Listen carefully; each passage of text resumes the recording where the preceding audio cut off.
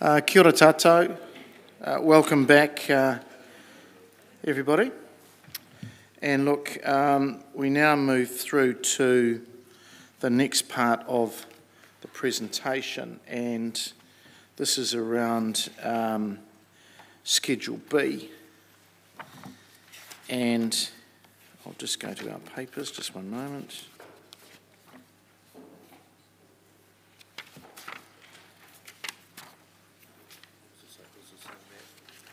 Yeah. So it's, um, it's the late paper that came to us um, and this is around the uh, one-off operating programs um, and just, just note please there is a replacement schedule that was circulated as a late item um, and it is around um, uh, proposed options for funding operating programs from the 2021-22 operating surplus uh, um, entitled, uh, or titled as, sorry, Schedule of One-Off Operating Programs, Attachment 5, Schedule B. So I'll come to you, um, Cameron, if you want to uh, speak to this, please. Thank you, Mr Mayor. Um, in, in our introductory, uh, introductory remarks uh, this, uh, this morning, uh, we mentioned that, that it was, uh, given the environment that we are in, in order to try and give, uh, give some relief, for a better term, back, back to our residents who are, who are facing um, the effects of the valuation that we've already spoken about. One of the options in our toolkit is, is utilising um, this year's operating surplus to fund some one-off items. Now, the, uh, that is a deviation away from, uh, from the, uh, the policy of using operating surpluses to repay, repay debt, but it is also a recognition that this year's program um, was impacted uh, reasonably um, significantly from, from COVID-19 um, lockdowns and restrictions. So, so um, had that not have happened, in many respects, we, we would have spent more of our operating program. So what we're trying to say here is um, there is an option here to take some of that um, underspend and apply it to next year as opposed to rating for these programs next year. Um, basically, uh, we, we sort of thought of how could we do this in a way that doesn't create further burden um, in the year after. And that is why we've uh, signaled uh, singled out those programs that, that at this, this stage only have a one-year um, lifespan. That they're, they're, designed to be completed within the year and don't have an ongoing uh, requirement thereafter. That way, we're not caught in a situation where we have to um, uh, catch up on, on rating for them next year. So that, that was a bit of the thinking and, and parameters that we put around this. So, uh, so in Schedule B, um, in, the, uh, in the, the late item, that had identified just a little over $1 million in, in a reduction to the rates um, income requirement for next year if we adopt this approach which, which is about roughly a percent of, of rates. So that, that was a way in which we could continue um, to deliver what we said we would deliver, but, uh, but in a way that wasn't adding extra burden to, to ratepayers. I do need to highlight one item on that list that's just recently come to my attention.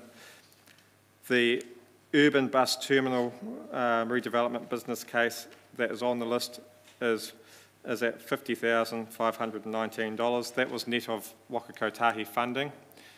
Uh, I've just been informed that we won't actually receive Waka Kotahi funding, which, which gave it a $100,000 um, uh, budget, and therefore, uh, for that to proceed, we would need to uh, consider putting, increasing that budget, or conversely, making a decision about whether or not you wish to proceed in doing that business case at all. So uh, the Chief Infrastructure Officer can talk a little bit more to that when we come to it. But I have to highlight that, that that's a, uh, recent development that we've become aware of.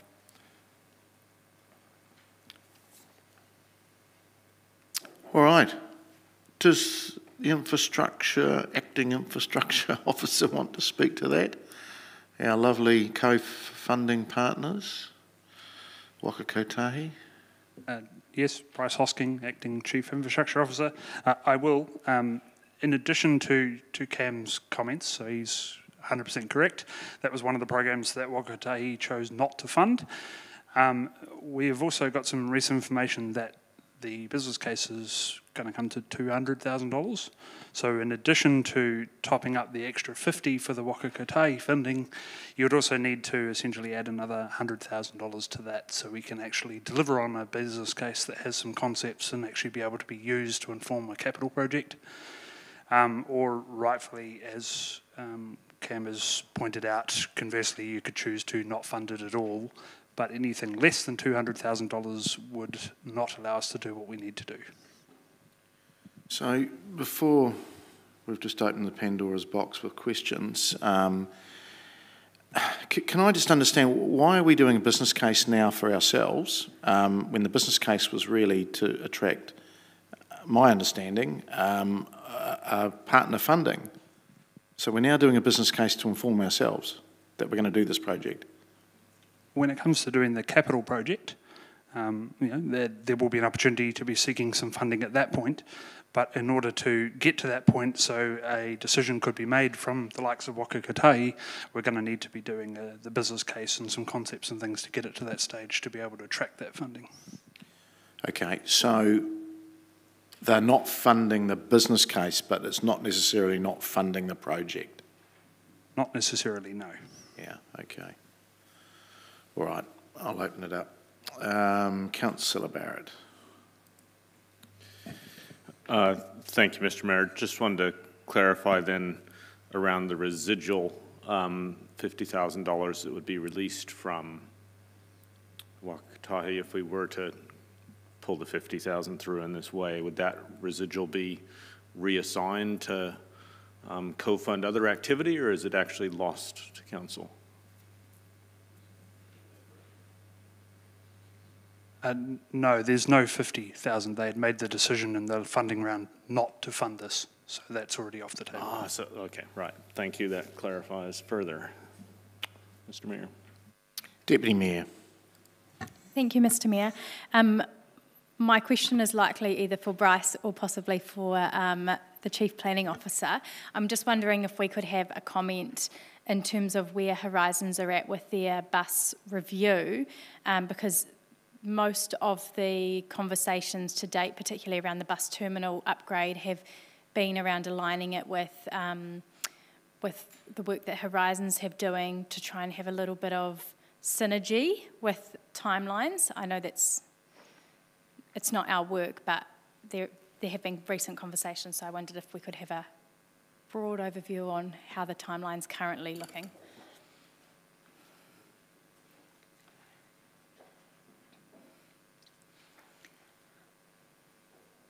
Yeah, look, I've actually um, been a little bit removed from the more recent discussions on that. I, I will, um, I'll check in with our senior transport planner ASAP and get a um, um, answer, unless Hamish um, has been in, yeah. I, I guess just because my my question would then be, what would the implications be if we, if if there was a decision to defer that, um, considering that we would essentially need to be funding a total amount of two hundred thousand, not fifty thousand, or defer it. Really, are the, the two options. So just to make sure that we we have a full understanding of what the implications would be if we did defer a year. I, I guess a general comment I can make is, is we have been trying to align the review of the bus service in the terminal as much as possible, and I know Horizons are advancing the review of their bus service. Um, um, the exact timing, I'd, I'd, as I said, I'd have to check. So I think the risk with deferring it is that we remove the ability for the, the review of the bus service and the terminal to occur um, alongside each other. I guess the other um, comment I would make is, is there's been a lot of talk about things that the council can or can't do to support investment in the old post office um, and providing some certainty to the public investment in that space will be um, an important part of trying to assist with resolving that issue. Thanks. David, just while you're standing, um, just with all the uncertainty about who's funding and, you know, partners not being partners, um, we could always bring with some more certainty, because this is all on the fly, this conversation, because I thought we were, we were looking good with uh, Waka Kotahi, especially with the uh, Deputy Prime Minister's announcements yesterday at uh, the budget luncheon um, about um, uh, public transport, that um, we could always bring this back into the chamber specifically, couldn't we, around knowing for certain, because I don't know what we're funding and what we're doing. So if we got some surety from the officers um, of what we were doing and horizons were all aligned, we could always bring this back, couldn't we? If, if I could make a comment, Mr Mayor, um, because this is included in the schedule that is to be funded um, by this year's operating surplus, it doesn't tr- uh, trigger a rates funding requirement for next year, so that does give the opportunity to bring something back that, that outlines the timelines and, and what's available. Yeah, but at, at a significantly more expensive cost. Yes, so you could, you could de- uh, decide at that time whether you would like to further invest or, or not. Okay. Um, Councillor Hancock. Yeah, thanks, uh, Mr Mayor. Uh, Yeah, I was just probably just wanted to tease out and be really specific in terms of, and David, this might be a uh, question for you, just in terms of this business case, how integral is that to both the future transport needs of Palmerston North and also other commercial developments in that part of the city? Um, and if we delayed that, what are the impacts?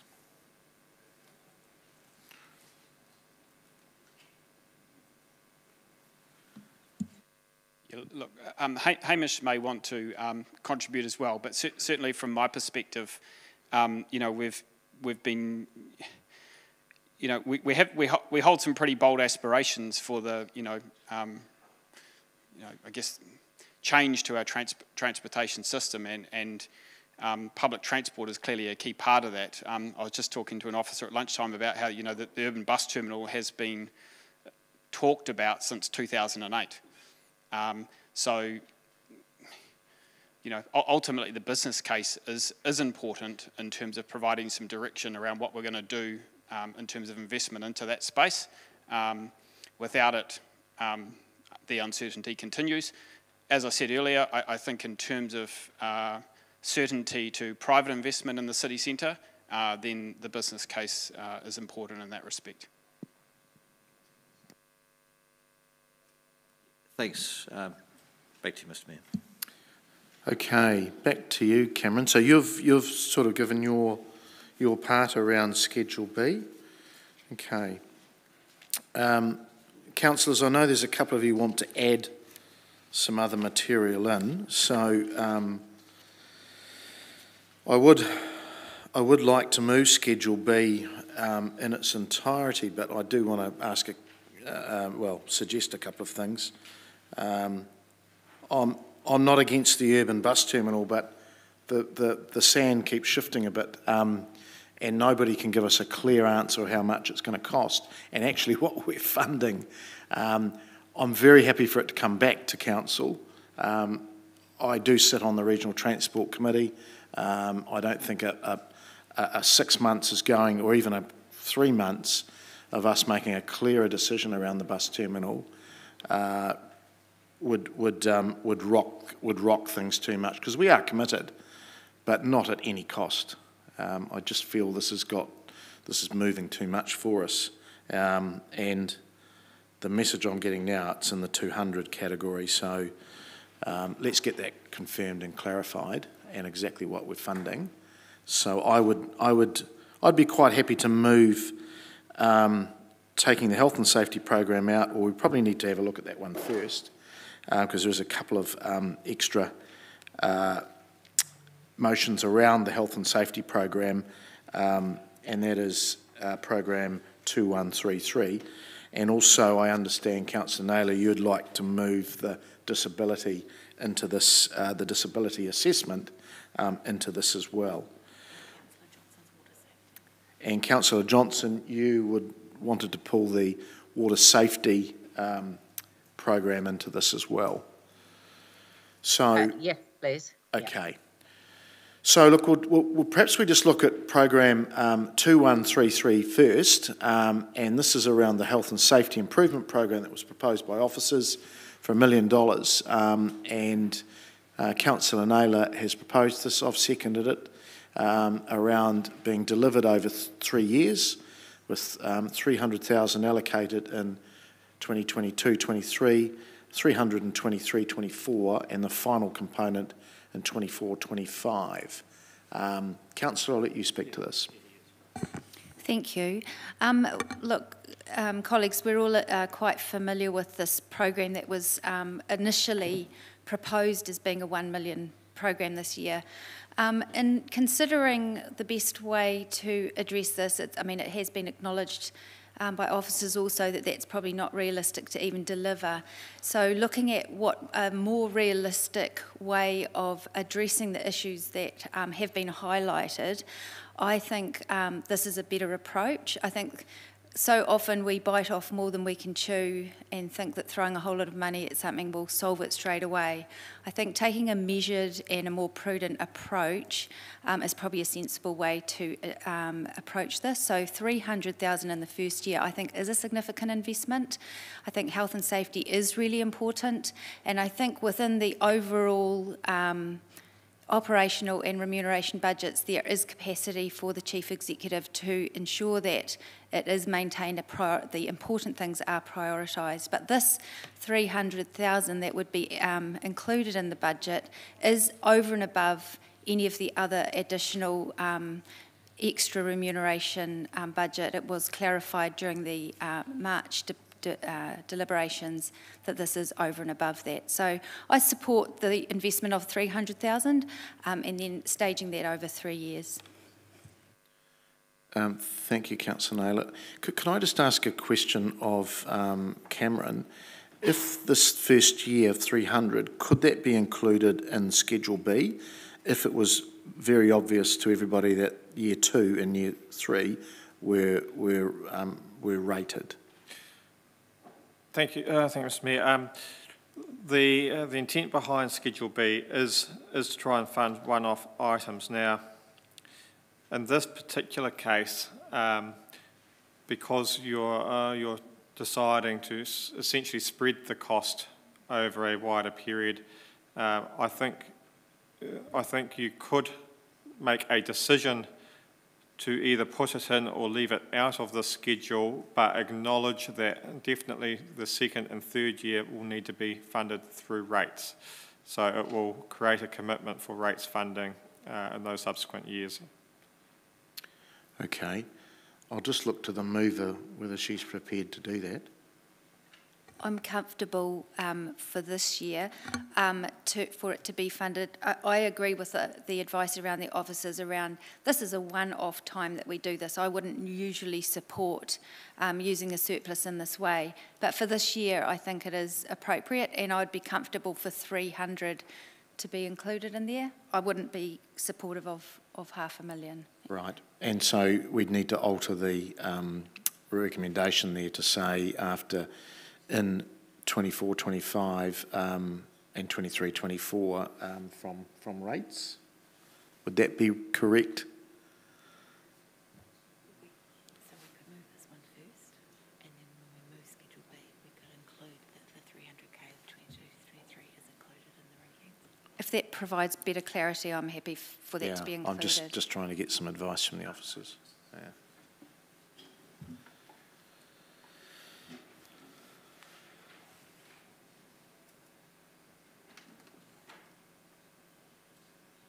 Yeah.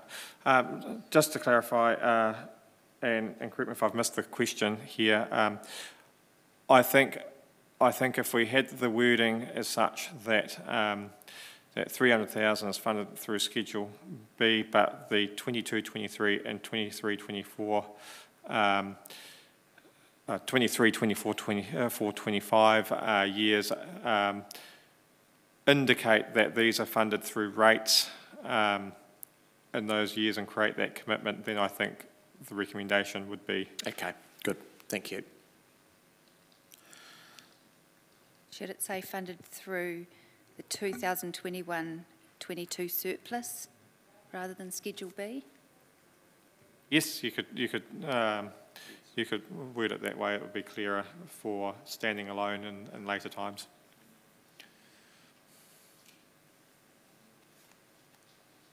Right, okay. Okay, so we've got, just so for those um, online, um, it's now uh, program 2133, Health and Safety Improvement Program. $1 million is delivered across three years with 300,000 allocated in 22-23, funded through the 21-22 surplus, 300,000 in 23-24 year and 400,000 in 24-25 year funded through rates.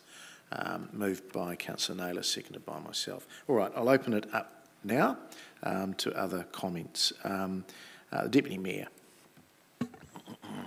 Thank you, Mr Mayor. Can I ask a question first? Yes. Um, so, so I just want to clarify, um, Cam, so the way that this recommendation is now being worded, just want to clarify that there is now an additional $200,000 being put onto rates from what was originally proposed by staff? Because your original recommendation was 500,000 for the one-off. Uh, yes, um, So, so 200,000 in subsequent years will now come through rates. so I think if the intent is to reduce the program to 300,000 total for the year, we just need to make clear that the program is being reduced to 300,000 in, in this year and then, and then the remainder through the subsequent years. Yeah, so in subsequent years, we're putting an additional $200,000. In, in subsequent Right. years, you're putting in three, uh, 300,000 in the year after next and 400,000 the year after is the way I read it. Yeah. Um, Not on, yeah, not on top, uh, not on top, basically. So you're saying the size of the program will be the million dollars, 300,000 funded from the, the reserve of surplus next year, 300,000 from rates the year after, and 400,000 from rates the year after that. Probably the appropriate question, I'm wondering whether the Chief Executive wants to comment on whether that uh, gives, gives sufficient budget to achieve the actual program um, is probably a worthwhile consideration, uh, something I can't comment on myself.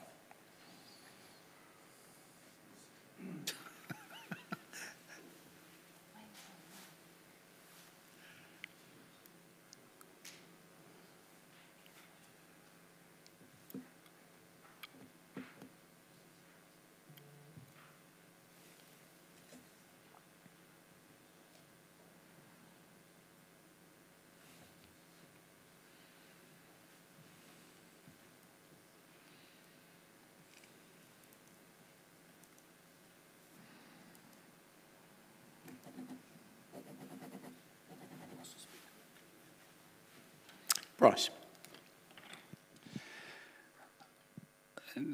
the work that needs to be done next year, there's, there's quite a bit of work um, and lots of little, I guess, pieces of framework, looking to get things like competency assessments in place.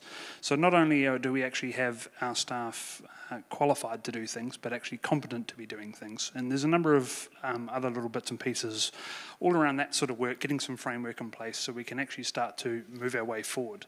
I, I, guess the, the major concern at the moment, um, and there was a question that came up when this got discussed back in February around are we compliant? And I, I think the, the question is we don't entirely know.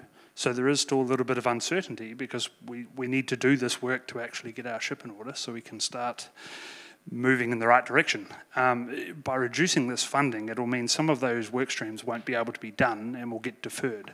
So some of that uncertainty will therefore get deferred um, before we can get to that space. Um, you know, it is a little bit fluid. There are some things we can be turning off if councillors do decide to reduce that, but it probably comes down to the speed and accuracy you want to get on how quickly you would like to know our position definitively. Can I just ask, because you've opened up, yeah, it's different advice to what we got from the uh, acting chief um, um, people officer a couple of weeks ago, uh, that nothing had been started and nothing had been scoped. So what are those pieces of work that you've just spoken about? I don't have a definitive list, but I, I, I can um, talk about a couple of things. Um, you know, I talked about health and safety framework, so that might be $100,000. Some of the competency work, uh, that's probably another $100,000. Competency around what, um, Um, Bryce? competency around um, being able to use our equipment. So for our operational staff, you know, it's all very well being trained in using a forklift or driving a truck, but are you actually competent at doing it so you can do it safely? Don't you get a licence to do that? You do.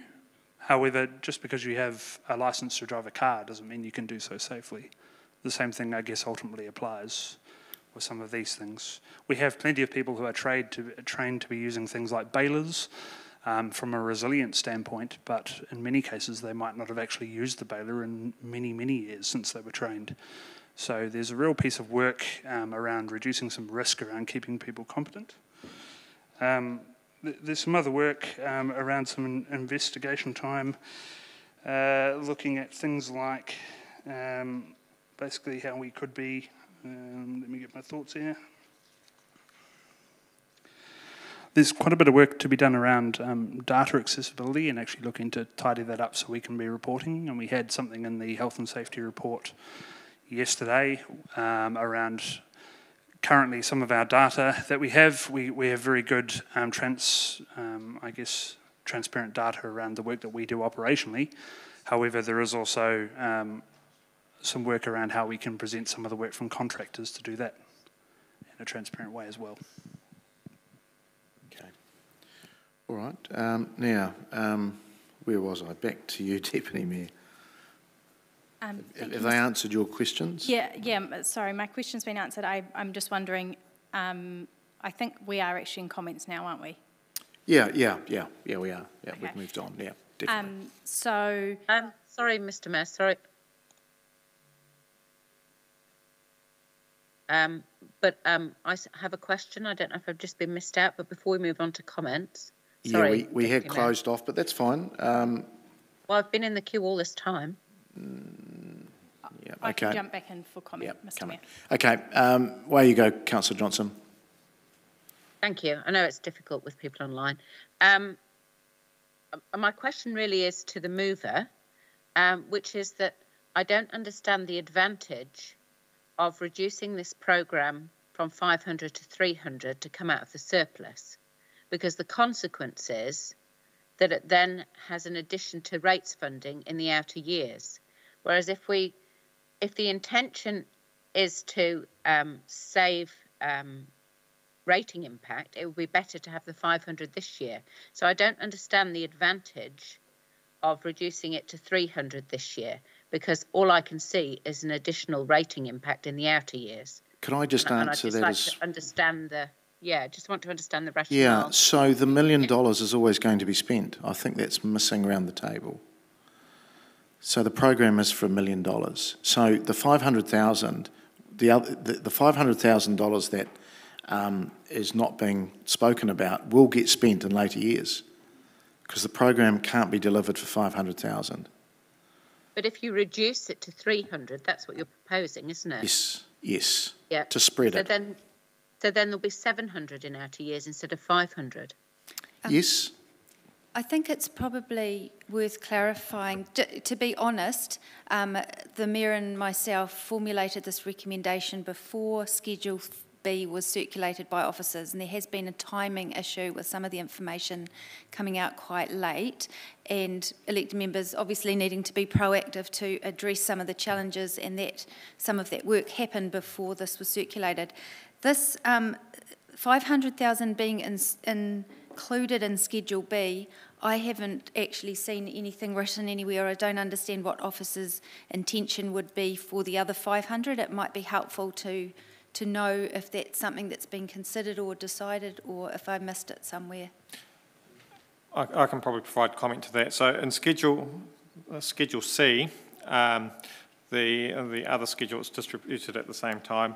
Uh, officers have put in there as a recommendation to take out the other 500,000 next year whilst they do the first piece of work um, to assess what what further ongoing requirement may be required. But to make it clear, this $1 million program in the draft annual budget is to be uh, is currently before you as 500,000 funded out of the surplus money and the other 500,000 not included in the budget at this stage um, for reconsideration once we've been through that first piece of work.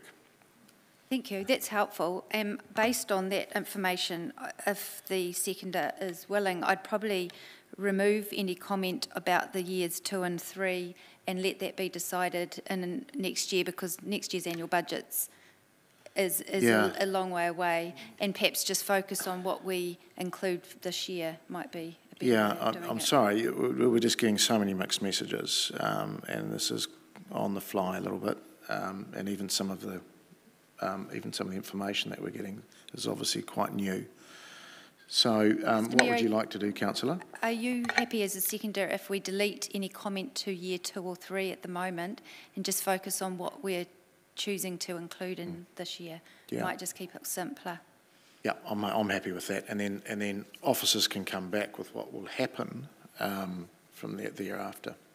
And so, on that basis, um, my comment would be in terms of the answer to Councillor Johnson's question about why 300 versus 500.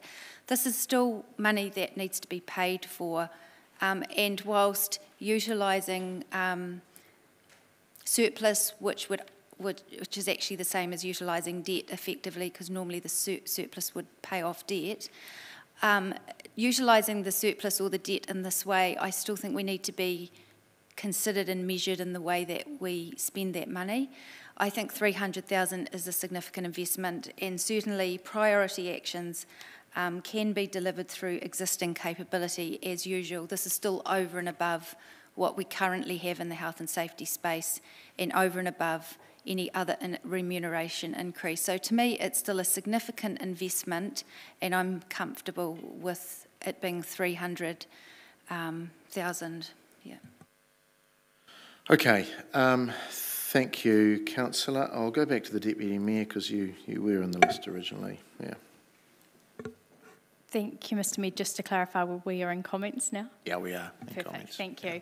Um, I'm opposing this. Um, I'm not prepared, prepared to compromise when it comes to health and safety and um, watering down budgets uh, even further um, is not something that I would want my name attached to. So I'll be opposing this. Um, councillor Handcock. Uh, Thanks, uh, Mr Mayor. Uh, I also would be opposing this.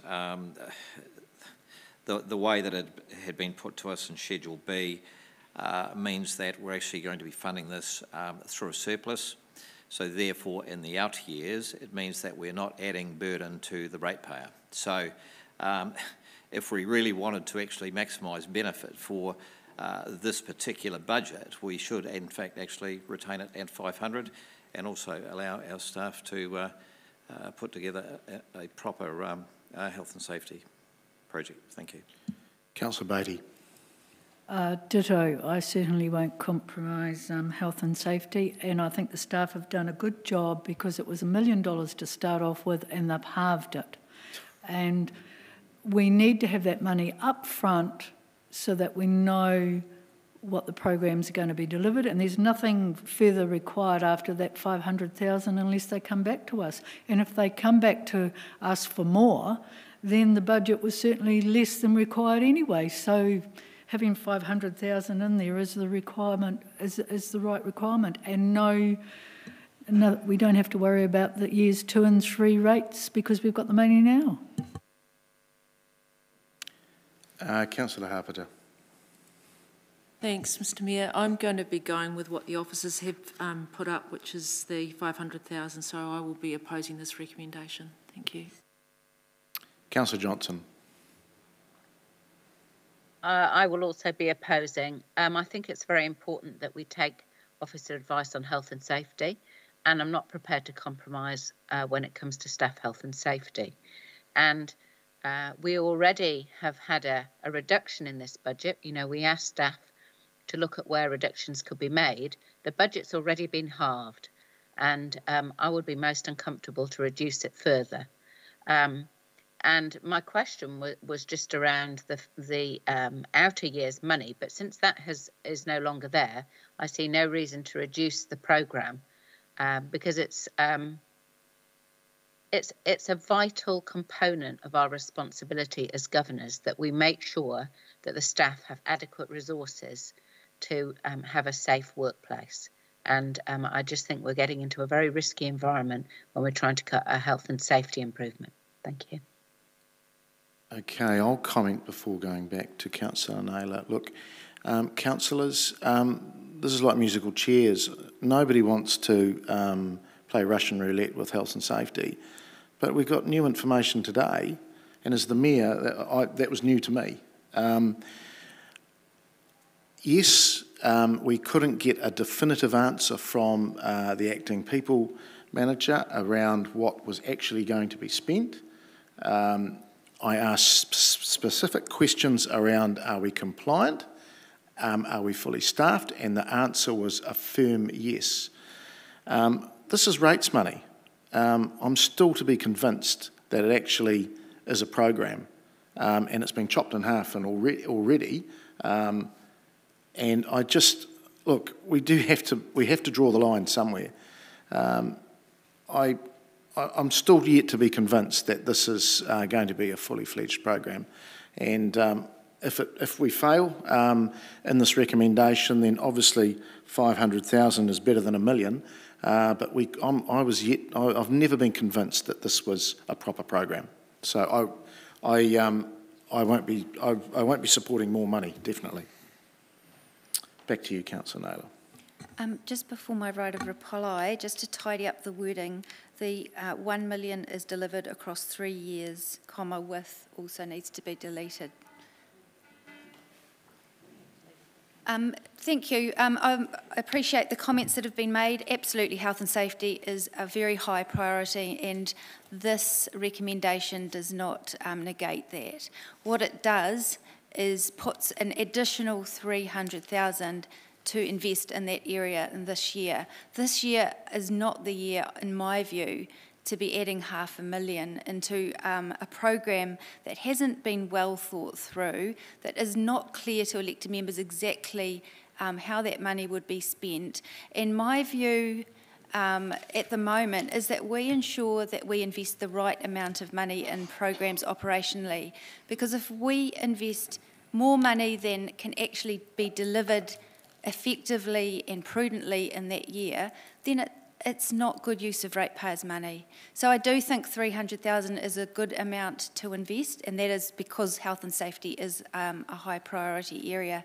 But, you know, yeah, so I'll leave it there. Okay, thank you, councillors. We'll vote on the recommendation um, on the screen there, which is um, uh, that council reduce the program uh, 2133 Health and Safety Improvement Program to 300, funded through the surplus. Okay, we will vote, please.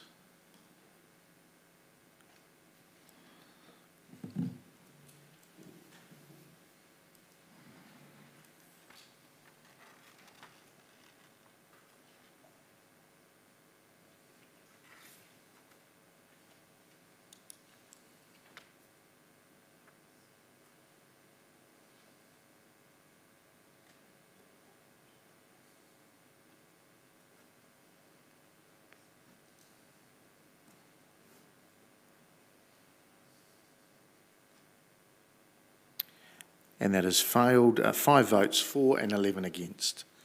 All right. We will go back to, um, well, first of all, we just need to sort out the um, adding in the two extras, which is around disability. and um, uh, have we got that? okay. This is again a one-off operating program. Committee recommends including a program uh, to complete the accessibility assessment of council infrastructure. Uh, 200,000 that will be funded from the 2021-22 surplus. And it's, um, it comes from a, a submission around accessibility uh, assessment. So, um, Councillor Naylor, uh, you speak to this, please. Thank you. Um, uh, councillors will recall the um, submission by Nick Dow from the Disability Reference Group um, asking for this to be considered. Um, just as a, a, quick refresher, the um, background to this is that in November of 2020, this um, Council unanimously supported a resolution that the CE um, undertakes an assessment of council facilities and infrastructure to be to determine whether the needs of people with disability are appropriately addressed and to identify any gaps. So then last year through the LTP pro process, a $100,000 program was put up.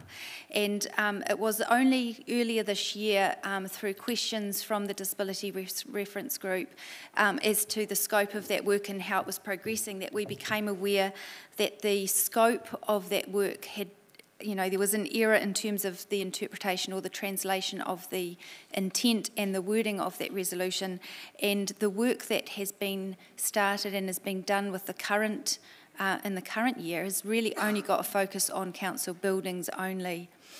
Just the background and the reason that this resolution um, was brought to council by the Disability Reference Group was as a result of a number of quite small um, issues um, that the group were putting on the table that needed to be addressed. And i am just going to really quickly describe one of those issues. One of those issues that goes back quite a few years um, was um, one of the group raised the issue of the steep camber of the road in George Street um, before the curb. So that means that he, when he gets out of his car in the disability car park, he can't, there's nowhere actually for him to get from the road onto the footpath. So that's a really disappointing oversight. So perhaps someone has just said, we need to tick the box and put a disability car park here, but hasn't thought about actually how a wheelchair might get up onto the footpath. That was passed on to officers and um, the individual met with an officer and sadly that issue has not been yet addressed. But there was a number of these sort of issues that um, were put on the table by the group.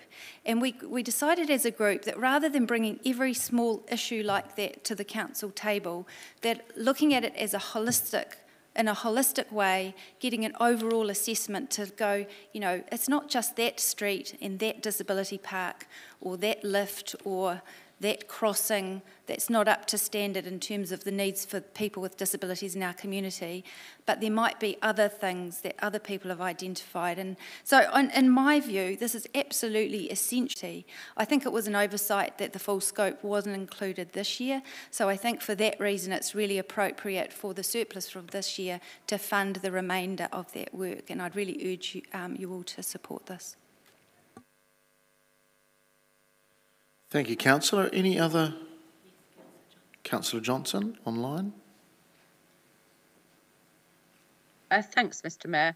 Um, yes, just so just to um, complement what Councillor Naylor has said, um, remember as a council we did sign up to the Enabling Good Lives principles, um, which is um, ordinary lives, that people with disability should be able to go about their business as any ordinary person and not um, have barriers to doing things.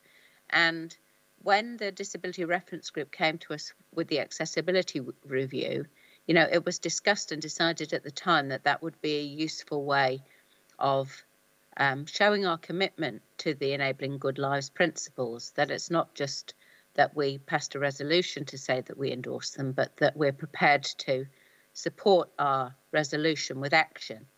And I think, um, whilst it's unfortunate that the scope of the project wasn't uh, fully costed to start with, I do think it is important that we follow through. Um, and I think that this is an opportunity to just make sure that the work does get completed. Um, and it is important for um, the relationship that we have with our reference groups that where we accept a, a recommendation from a reference group, that we fund it adequately so that we can achieve what we've said that we would achieve. So I would um, please ask for your support on this. Thanks. Okay. Are there any other comments? There being none, uh, write a reply back to you, Councillor Naylor? No. Okay. All right. Um, right, colleagues, we'll just get the um, back online the recommendation, which is around um, uh, program to complete uh, of 200,000 uh, around the accessibility assessment, and it's funded through the 21-22 surplus, and it's in reference to submission 285 uh, from the disability um, group. All right, we will vote on this, please.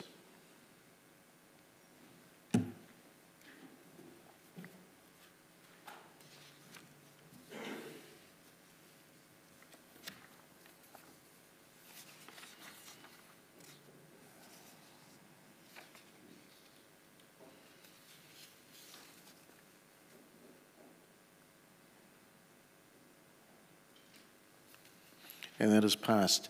15 votes for and one against.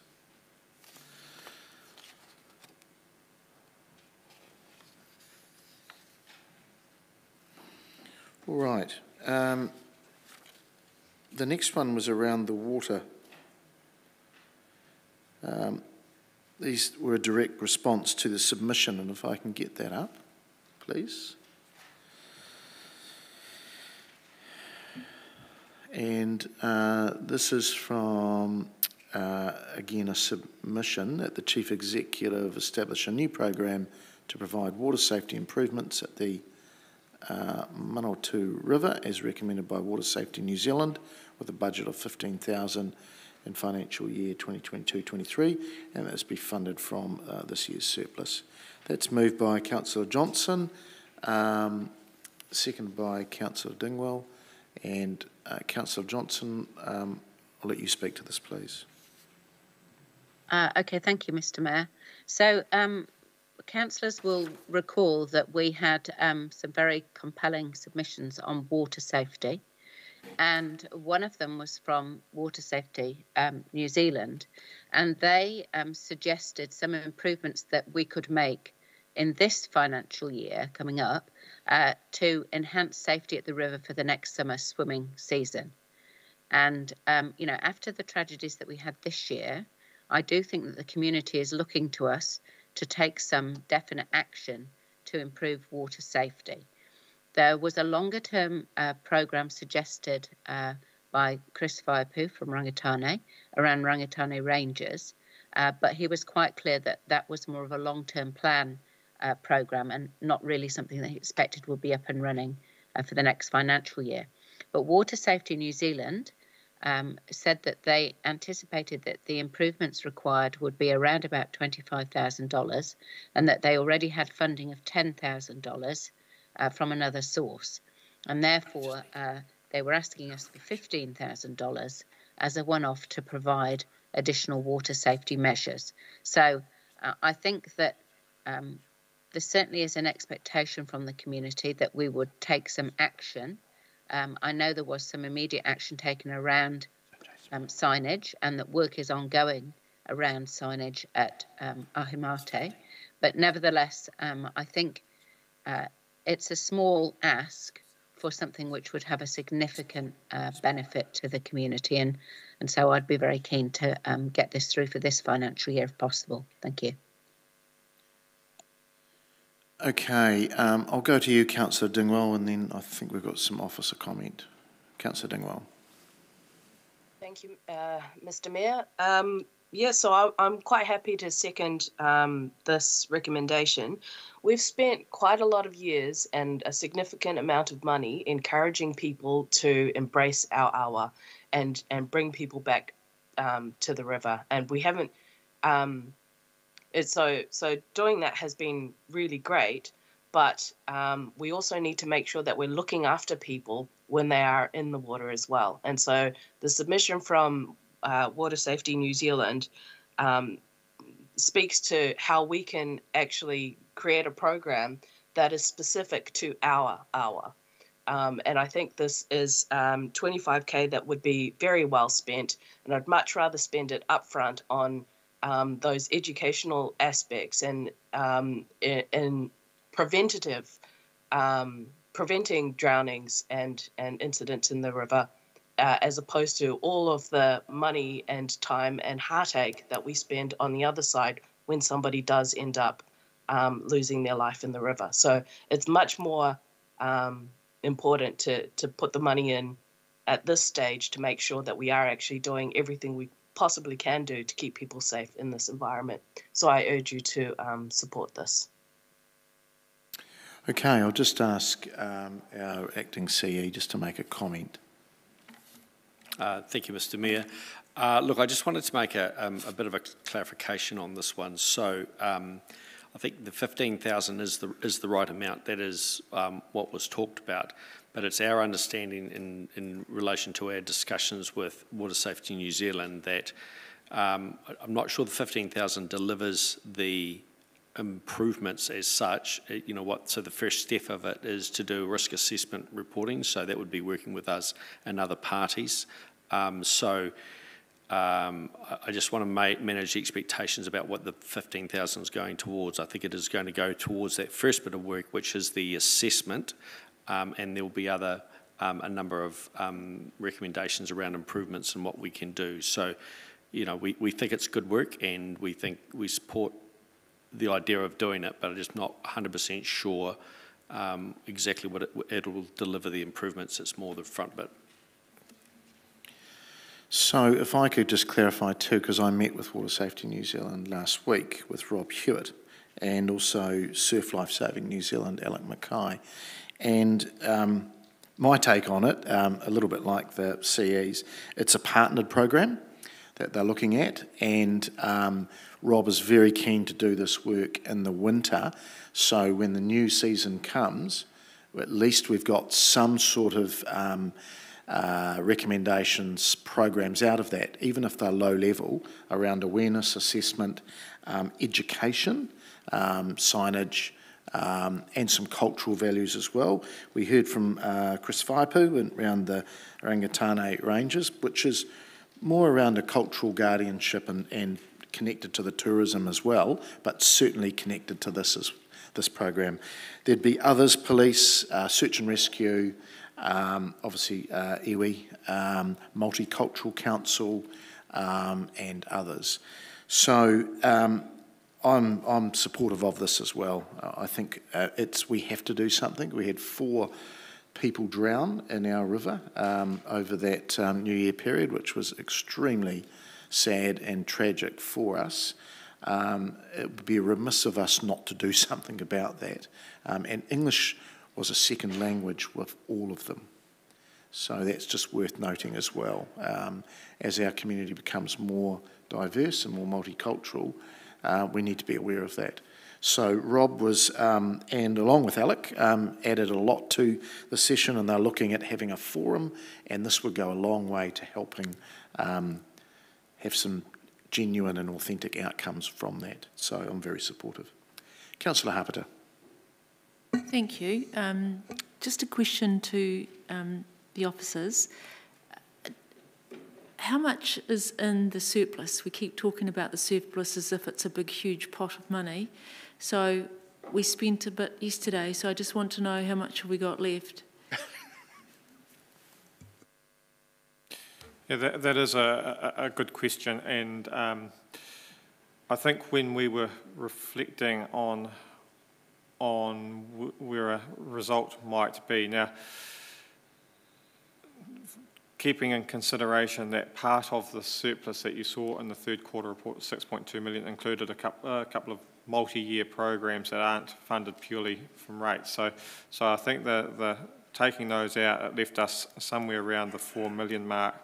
I, I would say that I've got a level of comfort up to about 1.5 million to, to utilise out of there. Um, going beyond that starts to starts to probably get a little bit um, tricky in the sense that um, we, we don't want to cause ourselves a problem for the rest of this year as well, or start getting to a point where maybe we don't have as much. Um, and putting some towards debt repayment is still a good message. So stop referring to the surplus soon. Yeah, it's, it's not a bottomless pit is probably the, uh, the angle. I think at the moment you're up at 1.288. Okay, thank you. All right. Um, there are no further comments to this one, this particular motion around the water safety um, um, recommendation. So I'll go back to you, Councillor Johnson. You need to write a reply? Um, yes, Joel, just to indicate that um, this is a very small amount of money. Um, but if people aren't comfortable in taking it out of the 1.5 million that's available in the surplus, then I'm more than happy to suggest that it be rates funded and it can come at the end under additional recommendations. Thank you. No, I think we're fine. Um, we'll leave it in, we'll leave it in here. Um, right, we've got it up, um, and uh, again, I'll just read it out. Chief Executive establish a new program to provide water safety improvements at the Manawatu River as recommended by Water Safe, as recommended by Water Safety New Zealand. Budget of 15,000 financial year 2022-23, and this be funded from this year's surplus. Uh, be worth noting too that there are partners in this with other funding, um, i.e. Water Safety New Zealand themselves.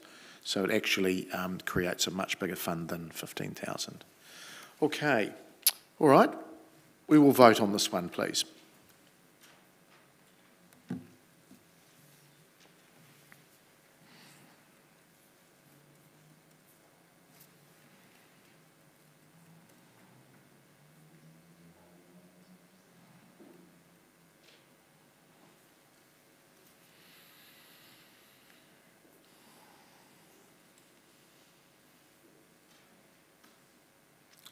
Has passed 16 votes for and none against. Thank you. Right, um, we've done the water safety, we've done the disability. We now need to do a substantive, uh, which includes. Yeah, okay. So what we've got here, uh, this is again around um, schedule schedule B. This completes the one-off operating programs out of this year's um, surplus, and the committee recommends that council agrees um, attachment five um, Schedule B, schedule of one-off operating programs, removing program 2025, the urban bus terminal business case, and adding accessibility assessment and the water safety programs, and note that the 2021-22 surplus will be applied. I'm happy to move that. I have a seconder. Thank you, Councillor Naylor. Um, okay, well, I'll, I'll, I'll kick off. Um, I'm very happy for the urban bus terminal to come back once the officers have got some firm answers. Um, again, I'm sorry, but it's it, i just don't feel comfortable with everything on the fly with hundreds of thousands of dollars. Um, I'm on the regional, I represent the city on the Regional Transport Committee, and a lot of the stuff that was said to me was new information. So I'm a little bit disappointed, to be honest. Um, but let's bring it back to council um, and we can agree on what we need to do. It is, it is critical that we, we complete the urban bus terminal, but, but not at any cost either. And I certainly would like to see our partner, and I emphasise the word partner, Waka Kotahi, in that. So I'll open that up for any comments. Councillor Barrett. Uh, thank you, Mr. Mayor. I'd like to move an amendment that we retain program 2025 and fund it up to a maximum of 200,000. Do you have a seconder? Seconded by the Deputy Mayor. Okay. Okay, just give us a moment to get that up on screen.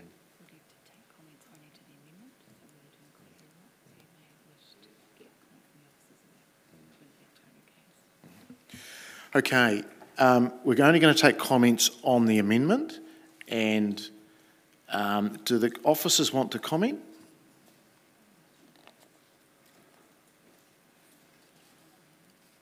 The only additional comment I'd make is I've had an update on the timing for the review of the urban bus service. So Horizons are looking at signing a new contract at the end of 2023. End of next year. Yep, that makes sense. Okay, thank you. All right, I'll go to you, Councillor Barrett. Uh, thank you, Mr. Mayor.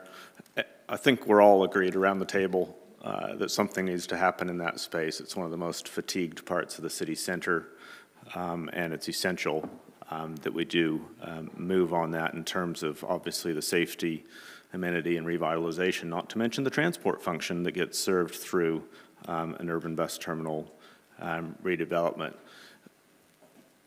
my rationale around keeping it in at this stage is that we want to be as well prepared and as well aligned as possible for going into the next National Land Transport Program so we actually get the big co-funding that we need. I would hate to see us quibbling around a relatively small amount of co-funding here and potentially risking millions of dollars of co-funding out of the National Land Transport Program to actually deliver the project. We have an opportunity to keep this moving now, to fund it without any rates impact, and to assure that we are well aligned to secure the big fish, which is the co-fund from Waka Kotahi for the delivery, and to also have investment and activity in this space at a critical time when Horizons is defining in detail the delivery of the upgraded um, bus service, and we want to be very active in that conversation as well to ensure that where they land in terms of the service is well suited in terms of what we're scoping in terms of a new terminal.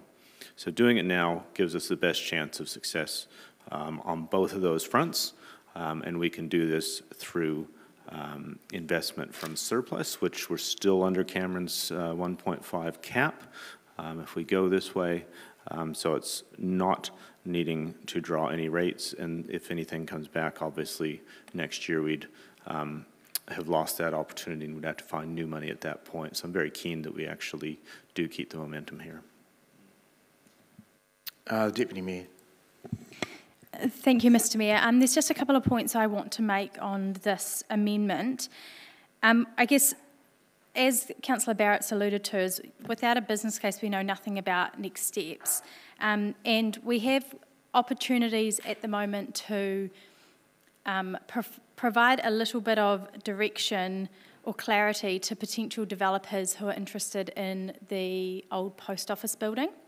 Um, I, I know that some who have been interested to, to date, through meetings that the Mayor and I have had with them ongoing, um, they have often questioned what is happening with the bus terminal, what is the future of the bus terminal, what is even the design of the bus terminal, and how does that influence opportunities with that building. So I actually think that we, we do need to move on with this. The, the council needs to know what the plan is with that space um, actually for many projects because even within some of the Streets for People design work, that impacts on whether there is a um, bus terminal in the, in the same position, whether it's down the road a bit, whether it's in a different location, it all uh, interacts with the way we move in that space. Waka Kotahi have not funded the business case, but that doesn't mean that they are not going to fund the build. Um, with Horizons signing the contract uh, for the new buses in 2023, that means that actually now is the time that we need to move ahead with the business case so that we have got some idea of where we're heading with that um, prior to that contract being signed. So actually, I think that the timing is aligning at the moment. Um, if we push this back another year, then we are going to be out of sync and we're going to be chasing our tail. So while we have an opportunity with this surplus, understanding it is not a bottomless pit, but we do have an opportunity to use this as a business case and then work out where we're going from here. But if we don't have good planning along this, uh, around this, then we're not going to be in the driver's seat. We're going to be led. Um, look, um, councillors, I won't be supporting this. I represent you on the RTC, and this this is this is not a um, slush fund. Um, uh, it will be, it actually is rates funded, by the way. There was a comment that this is not rates funded. We're just using this year's surplus, which comes from rates. So, um, look, it's not, I'm very happy and I, to have a proper, proper paper put in front of us. This is on the fly. And having been on the RTC, I can tell you now, we have not been funded for the train. We've not been funded for this business case. And we're now getting some talk that we're all going to get this paid for by Waka Kotahi. We haven't had a good success rate so far. So, look, I just think we're throwing money away willy nilly. I want to see a paper that's not on the fly and um, not a wish list either. So, I won't be supporting it. I think we've got to stop filling gaps. This is meant to be a partnered program. I don't see any partners except the ratepayer. So, let a paper come back uh, do this properly. This is, just because it's a surplus doesn't mean to say it needs to be spent.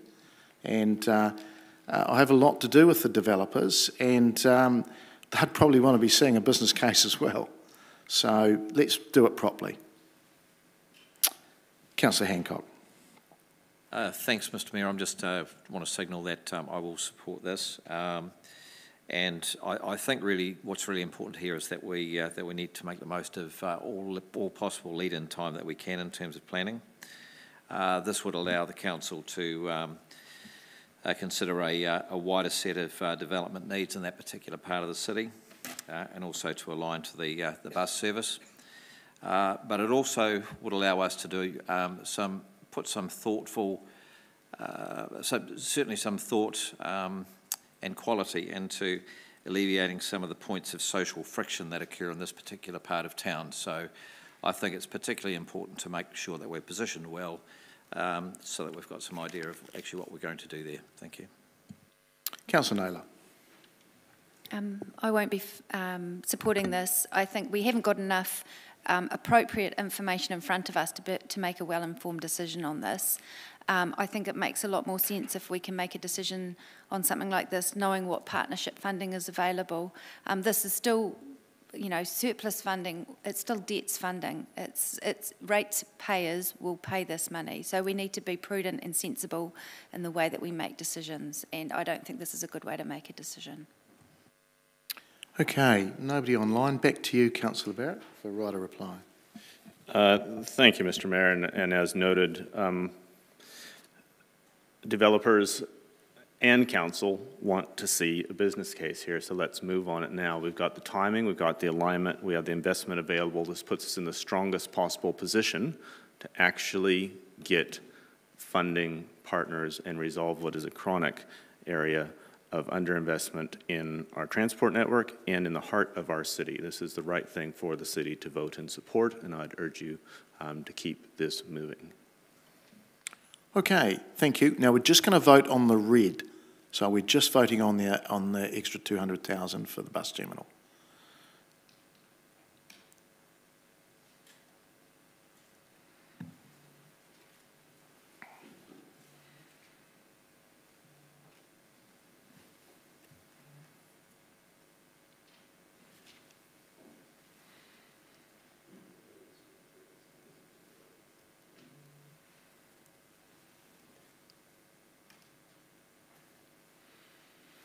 And that is uh, passed 10 votes for and 6 against. Right, we'll just get up the substantive.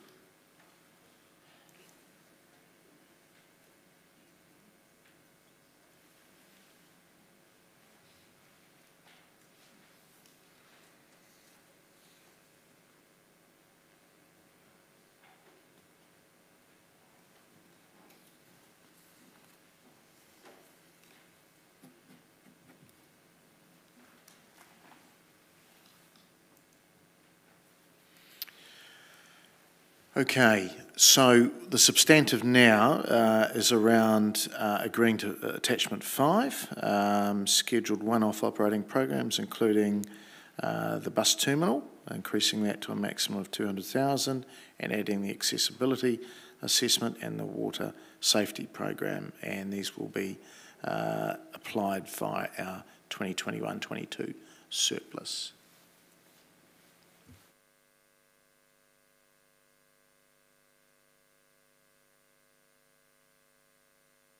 And just, um, yeah, just to bring everybody's attention to that uh, uh, health and safety improvement program stays at the 500,000 as well. All right, so um, uh, Cameron, we've got a quick add up there. What have we spent? 1.45 million. Thank you.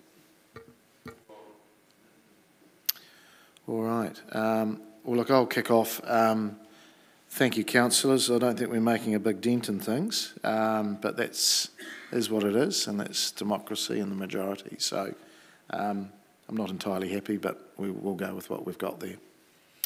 Right, I'll ask for any um, comments. Councillor Johnson.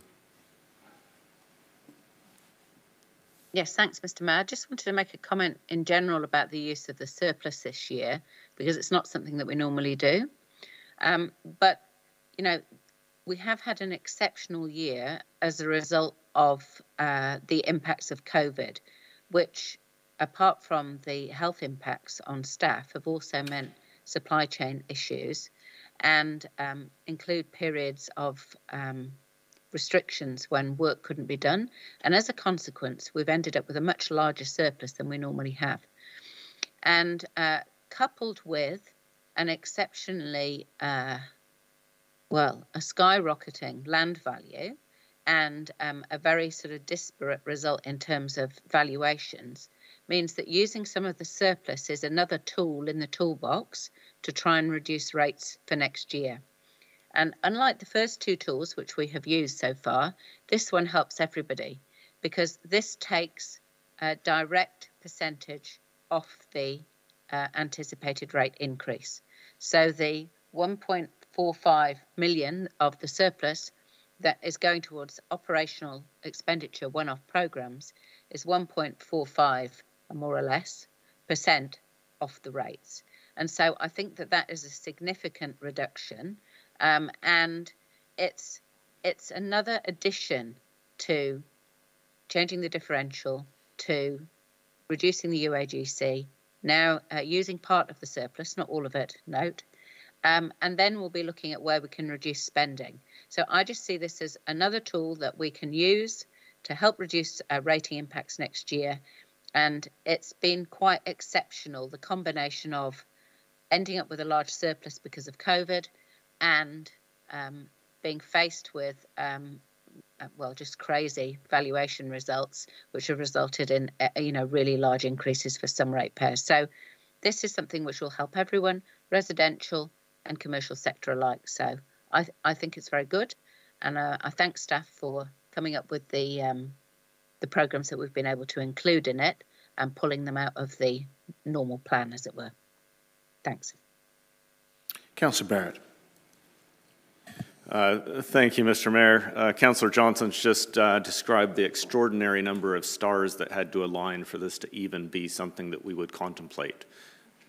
And I hope it's something we only ever do once, but I am very prepared to support it in this time for those reasons. I do want to acknowledge the work that went into actually getting a second cycle of this particular schedule when the first one came through it was a bit thin, it was a bit light, but actually now what we're looking at is something that will make a real dent in the overall rates headlines. I'm quite happy to support this once.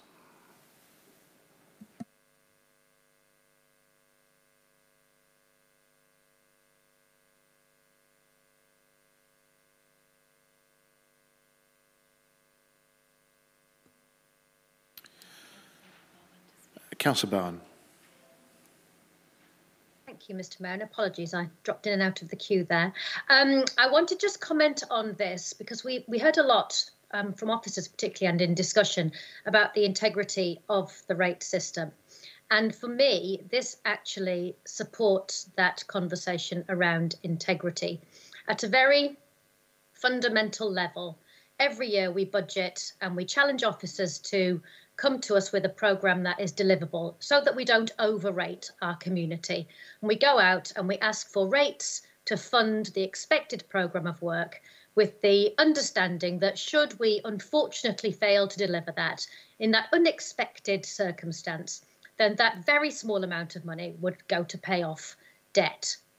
And this year, for all the reasons we're all very well familiar with, that system fell over and we find ourselves in a position of not having delivered the programme of work our community was entitled to expect. We've rated them for work and we've landed, landed with a surplus that is much larger than the surplus that would normally be put towards debt. So, on that basis alone, I'm happy to consider using the surplus to enable a programme of work to go ahead when that was what we said to our community that we were going to use their rates for. They expect us to do the work that we said we were going to do. When we weren't able to do it, I'm sure there's a large understanding of the reasons for that. But this enables us to go ahead and do work this year with and carry forward that benefit to the community without increasing rates and in fact in decreasing the additional rates burden. So I'll be pleased to support it. Councillor Beattie. Uh, thank you, Mr Mayor. Uh, yes, I'm happy with this approach um, and agree with the comments. I'd just like to point out, uh, Councillor Johnson mentioned that it'd be a 1.45% reduction, but it wouldn't be because we actually increased. Um, the original uh, rates percentage reduction was 1%, and we actually added 200,000 and another 200,000, which wasn't already in year um, in the next year. So it, it's actually only back to 1%. Can So I, can I just get that clarified? Is that correct?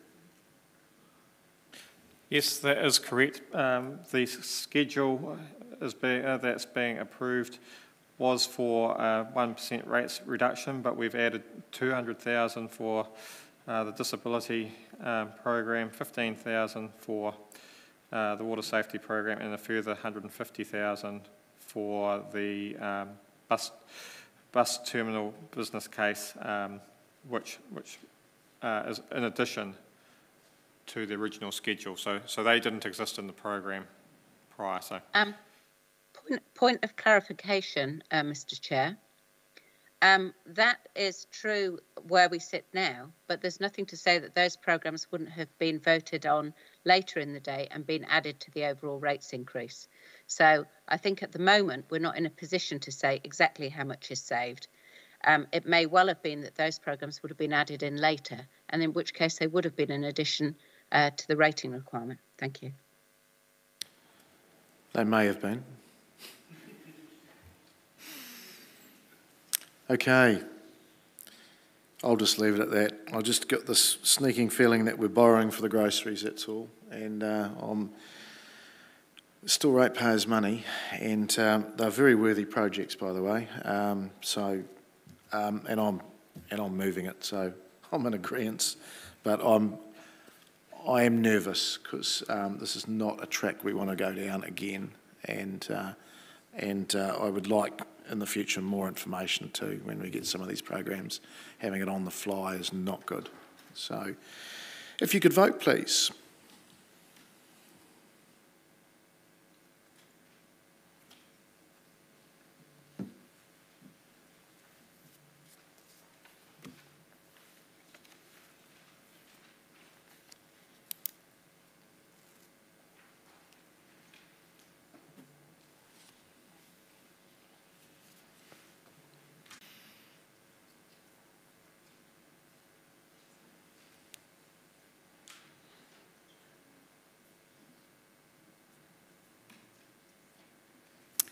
And that is passed 15 votes for and one against.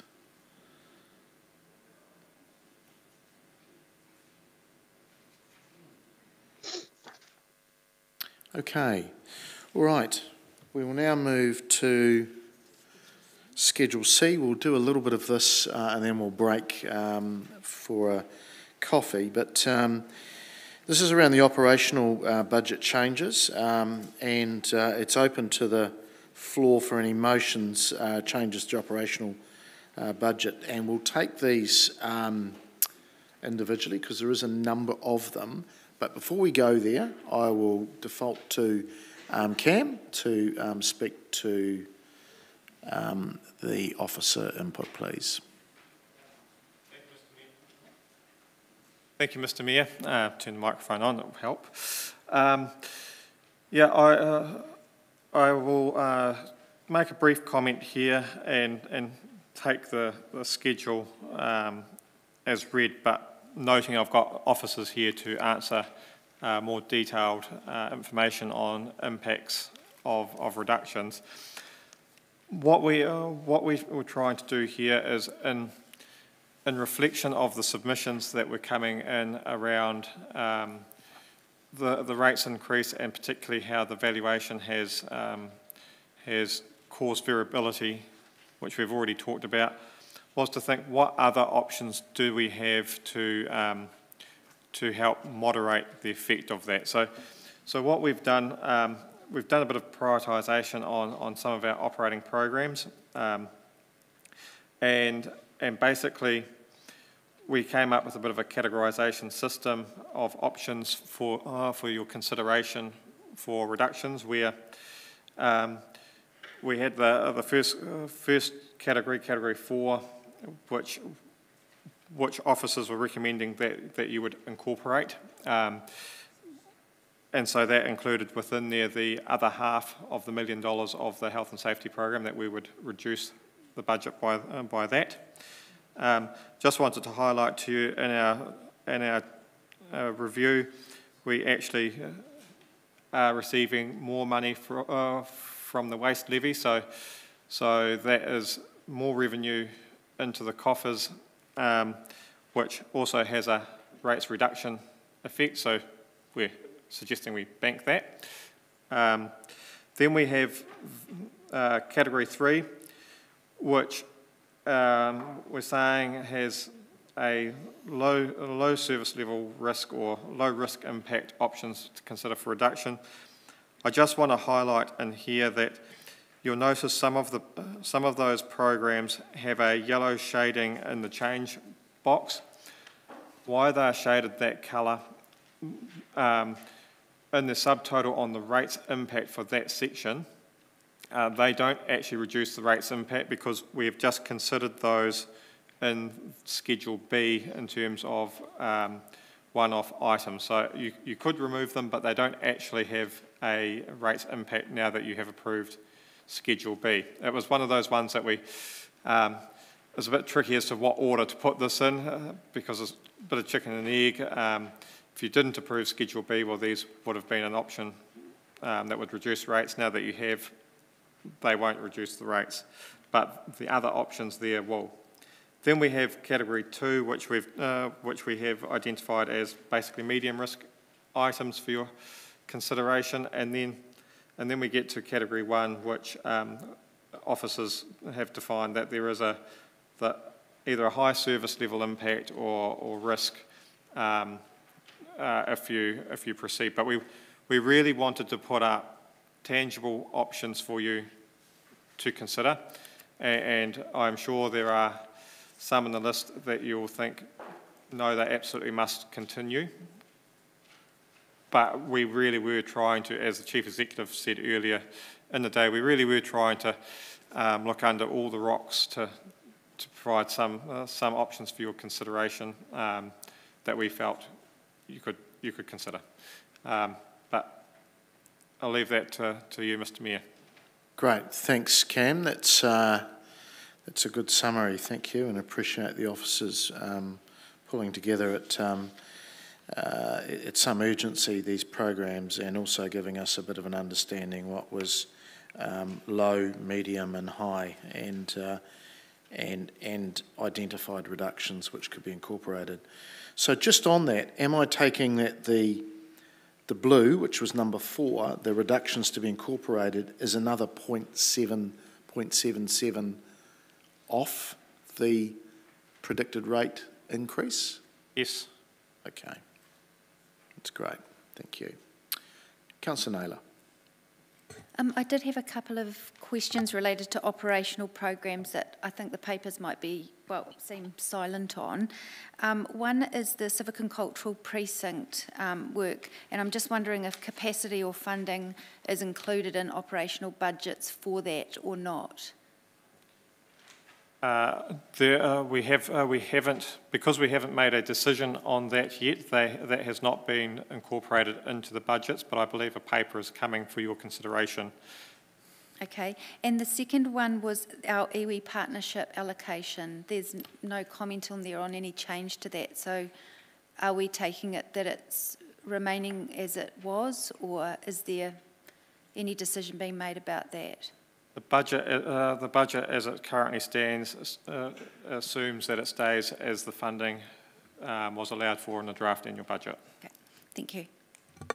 Councillor Johnson. Uh, thanks, Mr Mayor. Um, I just wanted to indicate that I did have some recommendations in for this um, item. Yep, we're definitely going to, there's a lot of them. We're going to go through them. Yep.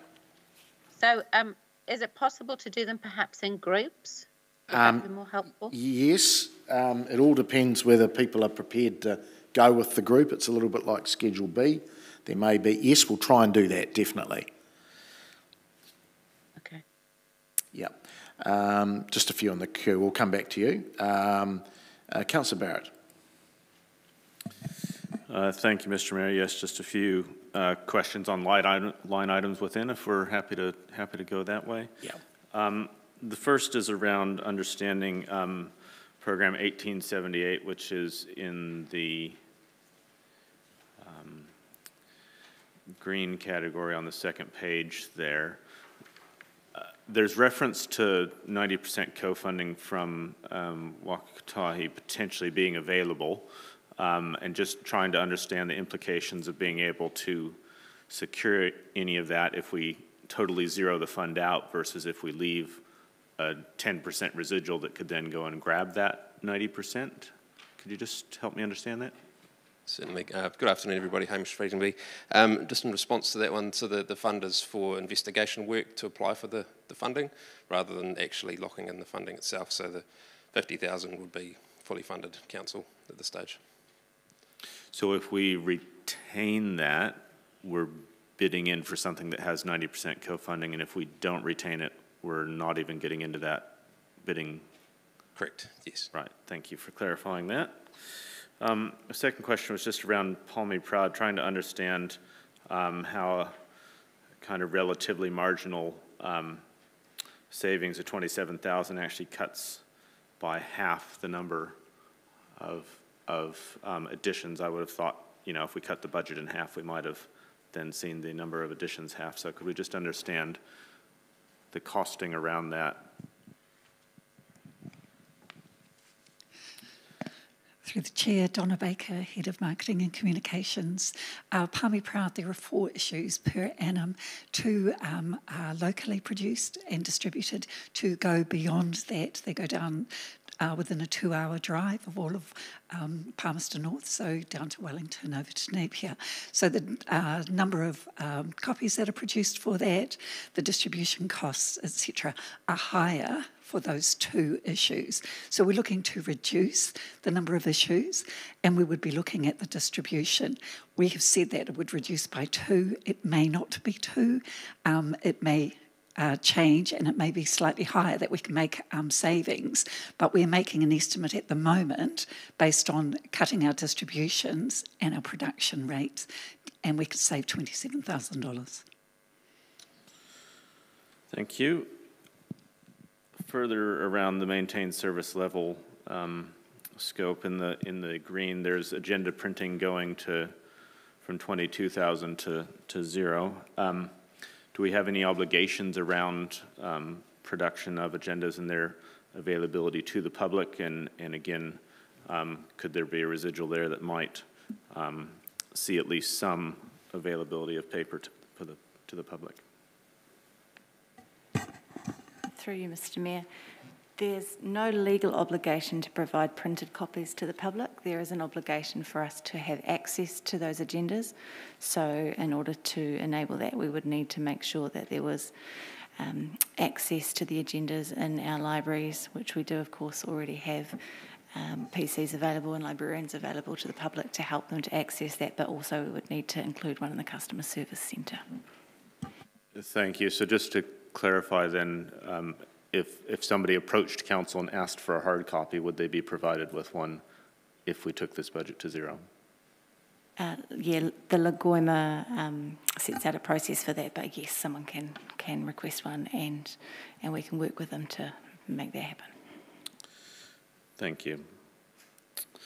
Um, finally, was around 1453, which is the bottom of the yellow bracket on page seven freshwater body improvements, um, there's a reference there to relationship and reputational impacts. Could we just understand who our relationship partners are in that activity and what specific um, freshwater areas are being um, targeted for improvement? Yes, um, so there's three, part, oh, sorry, Kathy Todd, Group Manager, Parks and Logistics. Uh, there are three partners. Uh, quite often this program ties in with Green Corridors. So some of the work that they're doing on our um, nominated streams throughout the city, um, coming down towards the Manawatu River. Um, we also have partnership with Environmental Manawatu, and they quite often get involved in this piece of work as well. And our, of course, our third um, is our partner, Rangitane. So Rangitane um, particularly have interests in um, the restoration of streams for tuna and other native fish species. The focus of this program when it first went in was around urban streams predominantly and there's been quite a bit of work. It's been recently reported in the in the paper the work that's been um, ongoing on our urban streams. But quite often we also use this project in conjunction with other work we might be doing. So, for example, some of this was um, used in conjunction with the urban eels project um, a couple of years ago. But primarily, this program was set up for urban streams, so within the city boundaries. And can I finally then clarify the work program for FY23? Does that sit in the urban stream space? Program varies um, in accordance with our partnership with um, other funding, uh, other partners, because often they also apply for other external funds. So it depends where the focus is. The, um, there isn't a particular program working forward. We tend to work with our partners um, on that, on what's coming up and where their areas of um, importance to them are at the time. Thank you for that. Back to you, Mr Mayor. Yeah, thank you. Um, Deputy Mayor.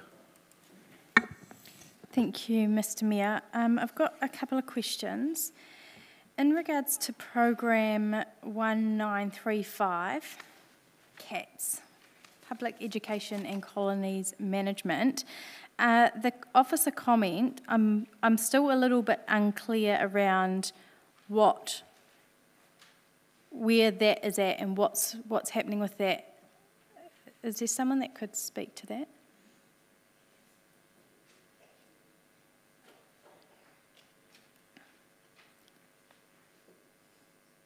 Good afternoon, councillors. Kerry Lee Probert, Acting um, Chief Customer Officer. Where we are in the process at the moment is we've received a, um, a report from Outpaws who um, do majority of the work with um, stray cat populations in Palmerston North. We're also waiting on some further information from SPCA and our colleagues in policy are doing a literature review and best practice.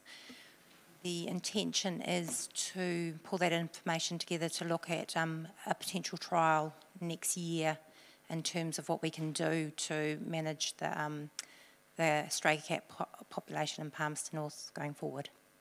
So what, I guess I'm trying to understand what we are potentially putting at risk by amending the budget. What, what does a trial of management of cat colonies mean? Potentially, it hasn't been decided yet. Potentially, we were looking at using a, um, a charity such as Outpaws or SPCA to identify a couple of key colonies around the city and um, perhaps look at a, a, trap, neuter and release type arrangement or rehoming arrangement, also to provide education to the people living in that area, perhaps look at working with Massey to neuter animals, that, that type of thing. If the funding's not provided, then we won't progress um, the trial any further at this stage. Okay. Um, if the if the funding's not provided by the council, is there someone else doing the work in this space? Well, currently, um, the Outpaws um, is probably the, the organisation that we're most aware of that is doing it um, as a charity. Um, and I guess this, this program is in response to the bylaws, which um, asks that we, um, uh, that cats are, are microchipped and, and, registered. Operationally, that's a very difficult thing to do. So we were looking at options for progressing work in this area. Okay, thank you. My next question is on the agenda printing. And I just wondered if we knew numbers around specific uptake or usage of the public, um, of the paper agendas that currently are available in public spaces.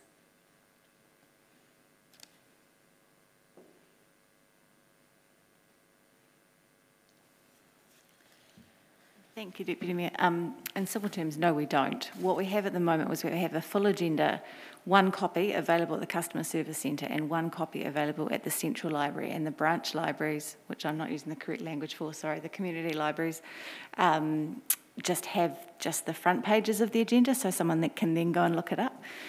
Where the cost lies is not in those two copies. Where the cost lies is in the circulation of agendas to elected members and the executive leadership team. Thank you. Um, so just stay there for a moment, Hannah. So if um, I guess I'm wondering how how we could still provide um, the public agendas. Elected members in ELT, they can they can sort themselves out, look online. But how, how do we um, how do we provide that if we're looking at sort of the full budget? Because if we're only if we've only got two paper copies at in public spaces at the moment, is that something that could be done within um, operational budgets to continue to provide those two copies if the cost is actually primarily people in this room? It potentially could be. Having said that, I'm not aware of other councils that still do provide paper copies to the public in the country. Okay. Thank you. Um, I don't have any further questions for you, Hannah. Um, I do have one other question, probably for Donna at, on Palmy Proud. So I'm just wondering if there's, if you've got specific numbers on how many copies. So I've, sorry, I've got two questions. I'll ask them both at the same time, and you can combine your answers if you like. How many copies are distributed of Palmy Proud for the local versus the wider print run?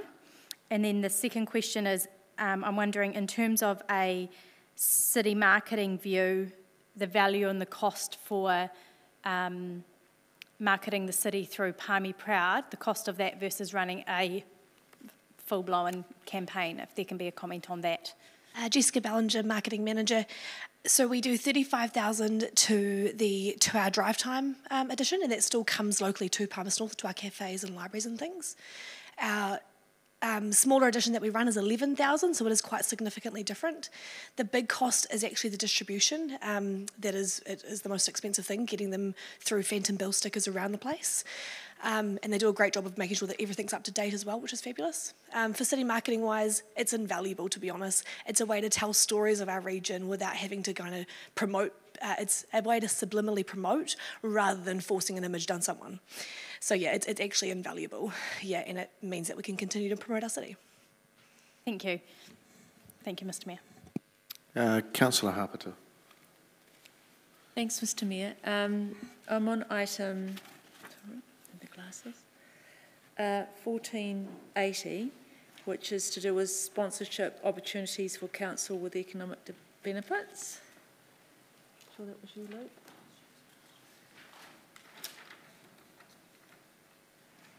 Um, just the questions around um, what have we used this fund for and have we been able to attract anything from this fund for the city?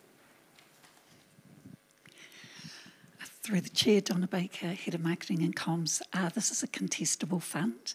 Um, we have uh, indicated that we can reduce this um, in the new financial year. However, it does have impact um, on bids that we can attract.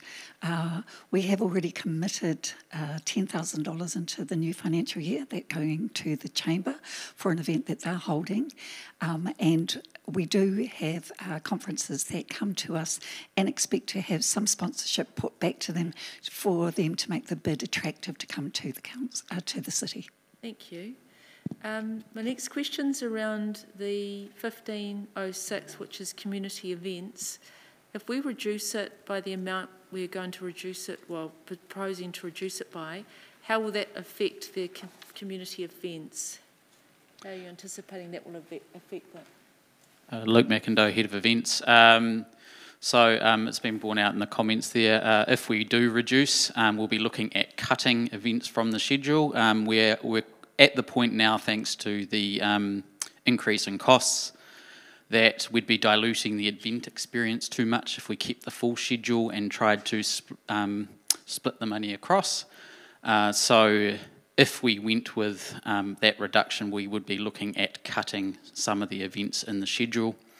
Um, and we'd probably be looking at some of those newer cultural events. Thank you. And my last question is around 1246, which is the Three Waters Public Education Water. Did we um, have any of those sessions and did anybody turn up for those sessions?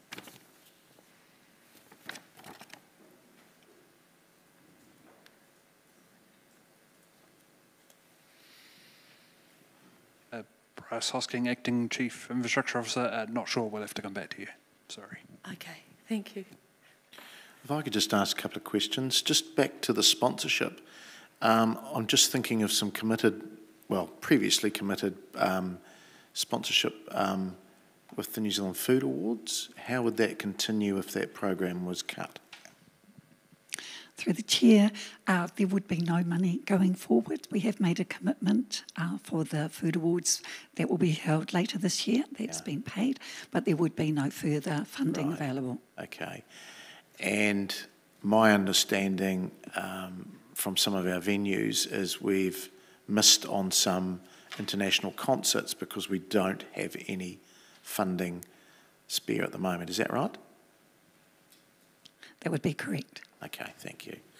Just on the international relations budget, um, and there's a, a, a motion to um, reduce that by 100,000. Can I get an understanding if we would have to make people redundant in that, in that space? Uh, before I answer that um, specific question, I think the effectively the controllable budget within the international relations area is only eighty thousand dollars. So the, the entire rest of the uh, budget is overheads, uh, corporate overheads, yep. um, and salaries. Um, so a hundred thousand dollar reduction um, would either mean there's no controllable expenditure to do activities, um, or or a, um, a, staff member is made redundant. Right. Okay. Thank you. All right. Um, we've got one. no more questions here. Uh, Councillor Johnson, and we'll break. Uh, thanks, Mr. Mayor. I have got uh, about three questions, I think. Uh, the first one is on programme 1264, which is development contribution fees support for community groups. Um, has that been used on a regular basis? I'm aware of one or two groups that came and asked for assistance with development costs, and that's why we put that budget in. But is that budget regularly used by community groups? I think in the sort of it's it's been the budget's been around for probably two LTPs, so maybe maybe five or six years. I can think of uh, maybe two two or three um, times it's been used. So, um, in in short, the answer to your question is no, it's not regularly being used. Um, okay, so if we were to remove this from the budget, then basically, if a community group wanted help with development contributions fees, they'd need to approach council directly and make a a request. Is that what we're saying? Correct. Okay. All right, thank you. Um, and my next question is about um, the predator free Palmerston North, which is program 1450. Um, can you explain what the reduction of $10,000, what would that consist of? Um, bearing in mind that we recently, excuse me, we recently had a paper through uh, saying that we'd need increased predator control in the uh, Turitea Valley. So I'm just wondering what the what would that reduction of ten thousand uh, dollars affect? Uh, there would just be less of that activity, including in the Turitea Valley. Yes. Um, thank you. Um, and then uh, my other question is about the uh, roaming dogs after hours, um, which was uh, included in MSL due to a public complaint.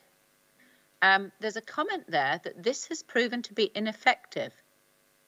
Can I have a bit more um, explanation about how it's been proven to be ineffective?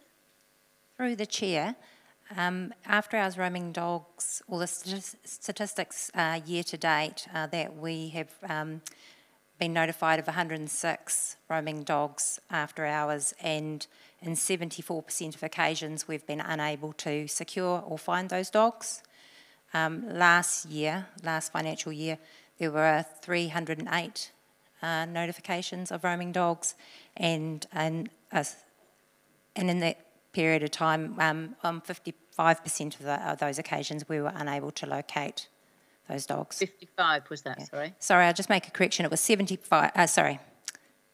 For the year to date, it was 70% of time we've been unsuccessful, and the last uh, financial year, it was 55% of the time.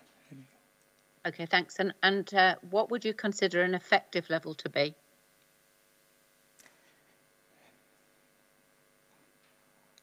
Possibly um, around the uh, 75 to 80%.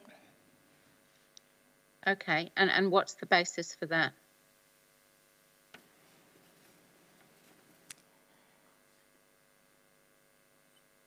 I think I'd have to defer um, to the councillors on this. This is a, a, probably a question for the councillors to decide um, on the effectiveness of the program versus the um, comfort that this program gives to the customers by having it there.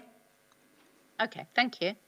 Um, and yeah, I think that's it. Thank you. A few of you have jumped in. Um, Councillor Bowen.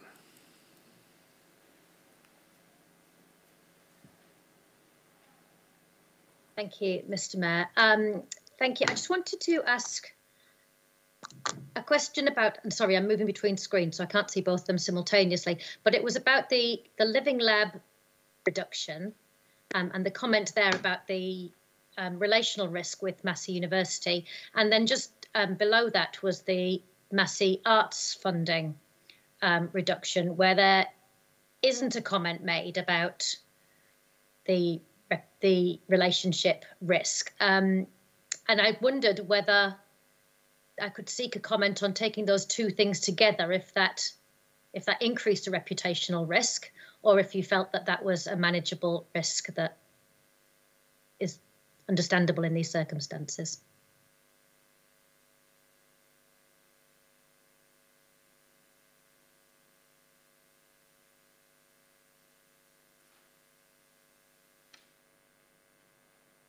I, I, I, think looking at the two together, I guess it, it does increase the overall uh, risk to the, the, the, the, strategic relationship with the university. Um, bearing in mind there are, um, as we saw with the meeting we had with Mass University uh, Council uh, a couple of three weeks back, um, these are not the only uh, engagements and um, shared projects that we have with the university. Thank you. And my only other question, I was just a bit confused about the reduc proposed reduction for the um, Anzac Day services. Um, was that, I wasn't clear on the impact of that proposed reduction. Could somebody explain that for me? Uh, Luke McIndoe, Head of Events, through the Chair. Um, there's a there's a range of um, impacts it could have. Um, we'd be again looking towards what we're doing across two services and the level of the extras, I guess, that would go into those uh, two services, because uh, it has been indicated a desire to keep both services. Thank you. And you, you also made the comment about the 30% increase in costs. Was that within the 11,000 proposed reduction, or was that an additional um, cost increase that you were signalling? Um, anecdotally, through our current program, we're seeing um, ac across all suppliers. So um, yeah, just anecdotally, that's something to keep in mind. So what I'm taking from that is your is that even at current funding levels, there would still be a, a service level risk there because of the environment that we're in. Absolutely. Okay, thank you. Nothing further from me. All right, I'm going to break now because you all keep jumping in um, at the end. So Let's have a, let's have a coffee back in the chamber at five to four, and we'll try and knock this off if we can. Um, councillors, um, we'll, we'll go through what people have put through. It's not my intention to go slash and burn, but we will, might have to look at programs line by line because I'm sensing that some might, might, want, might want to do that. But let's see if we can knock off um, this Schedule C um, this afternoon. Back at 5 to 4 online. Thank you.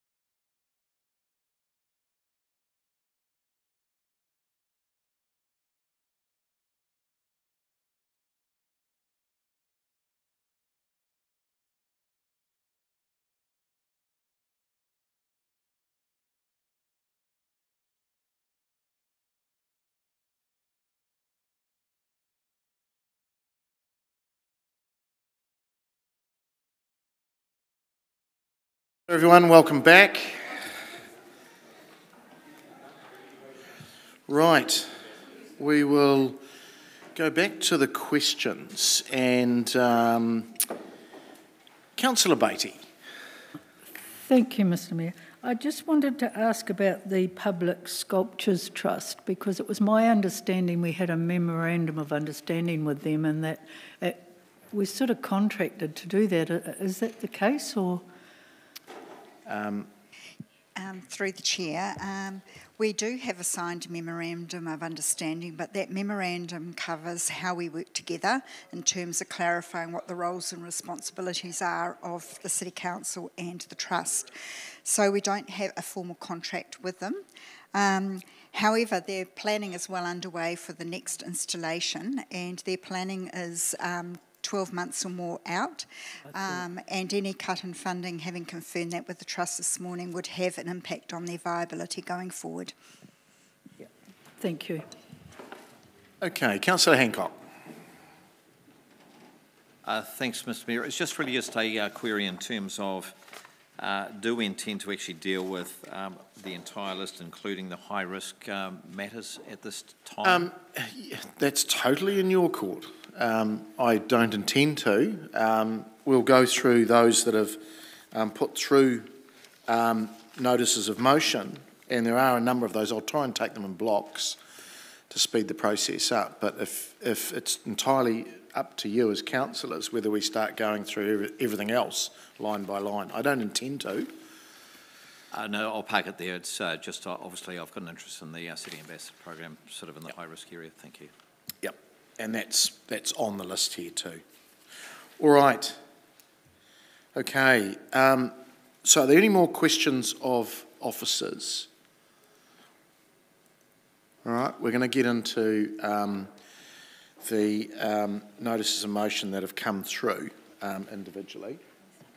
Yeah, and we're going to start with um, Councillor Naylor, and it's around the um, the additional budget for employee remuneration, and uh, it's uh, to be reduced by $2 million to enable 4.792 um, additional for the 2022-23 year, and the application of the additional um, 4.792 remuneration is determined by the Chief Executive. So that's moved by you, Councillor Naylor, seconded by myself. Thank you, Mr Mayor. I just want to start um, just by acknowledging the comments of our Acting Chief Executive at the beginning of this meeting, um, where he urged us, you know, he tried to dissuade us from any reductions and urged us to consider our ability to recruit and attract staff. Alongside that, we've all sat and listened and read the 295, I think it was, submissions um, from residents concerned about their rates increase, urging us to minimise the increase. I guess that's the challenge, I guess, of all of us as we sit around the table is which voices, how much weight do we give to one voice versus another voice? Because both perspectives are absolutely valuable and important for us to consider in our decision making. In, in my time um, sitting around this table, um, there's never been a proposal for an increase to remuneration the size that there has been for this year, being 13% increase or 6.8 million. Um, this recommendation would support a more moderate increase of 4.8 million or 9%. And in all my time here, we've never invested an additional 9% in, um, in our staff. I think it is an appropriate time to invest that level into our staff because I think recruitment and retention is absolutely important.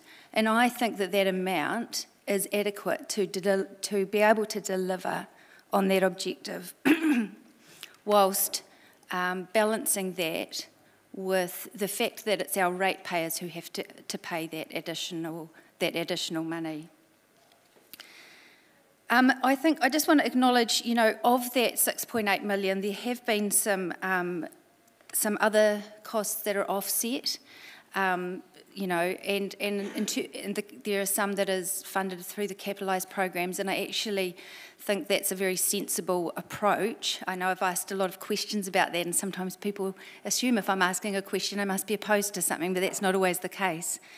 Um, I think we do need to be careful how much we fund from debt, um, and it does need to be balanced with what we're delivering in terms of the capital space. But we need to acknowledge that 3.5% of our rates increase, of our proposed rates increase of 8.3, 3.5% of that does relate to the, in, the proposed increase in, in terms of remuneration. I think, in the context of what our community is dealing with and the impact of revaluations, I think this year is too much to impose that level of increase on our community. So I, I would look. I'll some of my colleagues at lunchtime told me to try and keep it brief, so I will leave it there um, and really urge you to give appropriate weight to those community members who have urged, to have asked, who have asked us and pleaded with us um, to actually reduce the rates increase because many of them actually cannot afford it. And I'm, yes, now I am going on, but you know, I'm really concerned about the impact of some of our lower income families um, of some of these rates increase. So I'll leave it there. Uh, thank you. Um, Councillor, look, I'll, I'll, chip in as well because I seconded this and, and I have uh, all the reasons that Councillor Naylor has spoken to. Look, um, councillors, this is new operational MSL funding for new positions and we, I just want to, first of all, we haven't had this level of transparency in the past. So I do want to thank the officers for more transparency and honesty around the recruitment uh, and retention. We heard about the 140 vacancies and that's reduced and that's great to you know 120 plus. But we will still be rating for a whole lot of empty seats. And we, we just can't continue to do that. Um, you heard today um, uh, around the, the, the submissions um, and what the, the, the, majority of submissions said, and it was around the significant rate increases um, we are putting on people. Do we really want to be rating for empty seats? This recommendation still gives a lot of headroom uh, for the CE and the management team um, to work um, with increase, increased um, remuneration but at a slightly reduced level, level on what they've asked for. And again, that was under an old structure and an old management team. So I would please ask you to start to look at what we're doing. Uh, we have hardly made any decreases um, so far, so um, this is one which will make some significance. So I just again implore you, this will be rating for empty seats. So please support it. Deputy Mayor. Thank you, Mr Mayor. Um, I would like to offer another perspective in that we, well, certainly I'm hearing from people in our community on an ongoing basis who are frustrated with the delays in response from council in service delays, in um, getting pieces of work completed, particularly in infrastructure, um, in repairs and maintenance, call centre wait times, not at particularly high peak um, times of day, at, at a range of things because we are currently understaffed.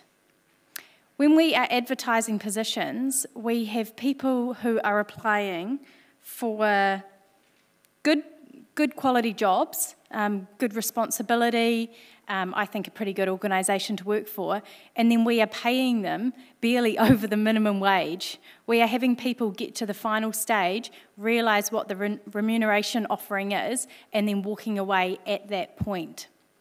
If we want to attract good quality staff, we have got to offer well rounded, good quality jobs. The pressures that are currently being faced within our workforce, we have got people who are carrying two roles whilst trying to do their current role and then acting in another role. And I, I know we've made jokes, but in particular about somebody who's in the council chamber today acting, acting, but actually this is across the organisation. I can think right now of half a dozen people who are carrying multiple workloads because there are spaces that they are trying to fill to keep the team running. I, I can't think of an example over the past probably more than six months in a meeting where there hasn't been reference to high workloads, stressed out staff, pressures, cost, market pressures that are pinching our staff into other organisations because we have got a, um, a wage lag that we have not addressed. I, I think the comment from Councillor Naylor is absolutely spot on that we have not seen this kind of increase because we have just fallen further and further behind.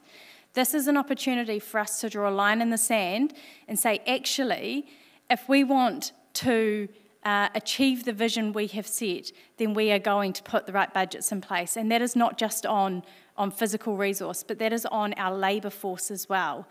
Our people are our most valuable asset, and so I am absolutely not supporting any decrease uh, to what is proposed with remuneration review. We have been talking about this for years, even pre COVID.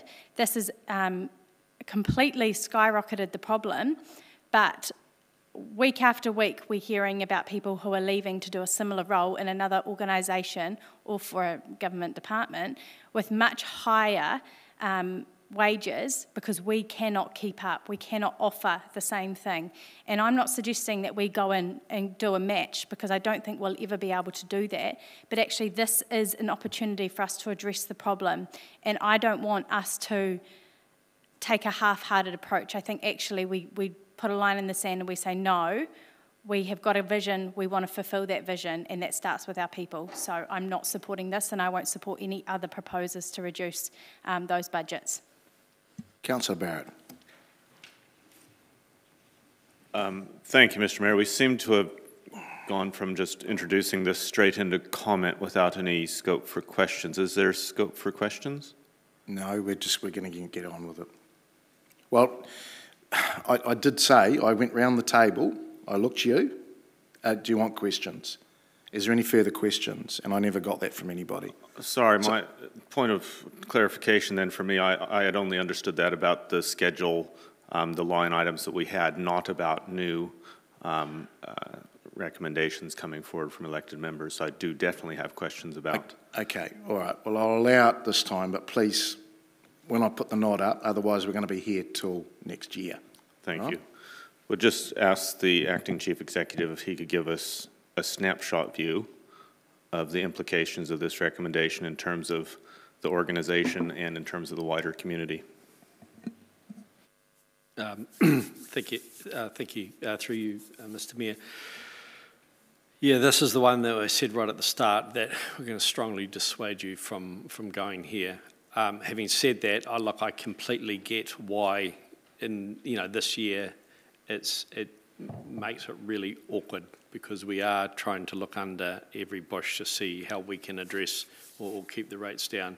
However, in this case, I do think it is counterproductive. Um, we are seeing a situation that we I have never seen in my lifetime and all of my working career um, in terms of you know being in an organisation where um, wages are uh, going up so fast that we just you know we we've been trying to do a remuneration review for um, for about 18 months now and we're sort of bringing that to a close but in the meantime um, you know, things are getting away on us. You know, we've done reviews in various areas to try and address the fact that we can't um, retain staff. We get those reviews finished. We do it. We you know put put the wages up, and we're now we're already out of the market. So it is that is the the background of the environment we're in. Um, we've been trying to attract, particularly in the infrastructure team, um, engineers. Um, our, our wages that we pay aren't high enough to meet the thresholds to um, employ people from overseas because they don't, we're not paying enough to actually meet the, the visa thresholds.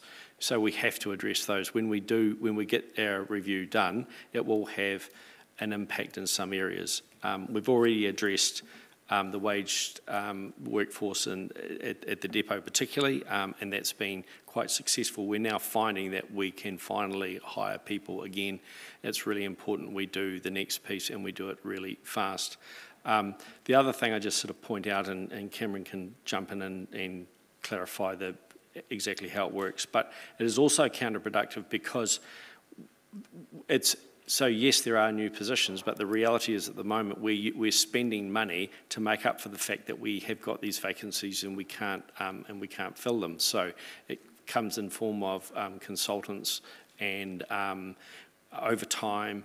Um, it's um, you know we're we're spending you know quite a quite a bit of money that, that comes out of the same budget for things like recruitment and what have you. So you know, you take the money away and it actually has quite a significant impact on our ability just to get, you know, just to keep going. So, um, look, it will have a big impact. Um, it will impact, you know, our ability to attract and, and retain people. It will also have an immediate impact, you know, on our ability to actually keep some, you know, keep some of this work going because of those impacts around um, you know, we offset the fact that we've got the vacancies by, by using consultants. So, look, we can, we can certainly go into more detail around exactly how, how the, the number is made up, um, how the Im impacts are in terms of our assumptions around um, vacancy levels, around um, turnover and, and, you know, the assumptions that we've made to try and explain that. But I think it just comes back to the fact that, you know, we need this money we need this money to be able to um, address the issues that we have and to be able to, you know, maintain, just to maintain the service levels that we've got because our people can't go on forever like this. Thank you. Brief comment. Yeah. So I'm uh, not prepared to support the recommendation here. I think for me it comes down to the intersection between um, our staffing and recruitment our well-being and retention and what we actually deliver in terms of impact for the community. And, you know, to, to have an ongoing basis where we're carrying very high levels of um, vacancies is simply not sustainable and we need to um, do what is within our realm of power to actually enable the chief executive and his team to um, address that as best they can in the coming year.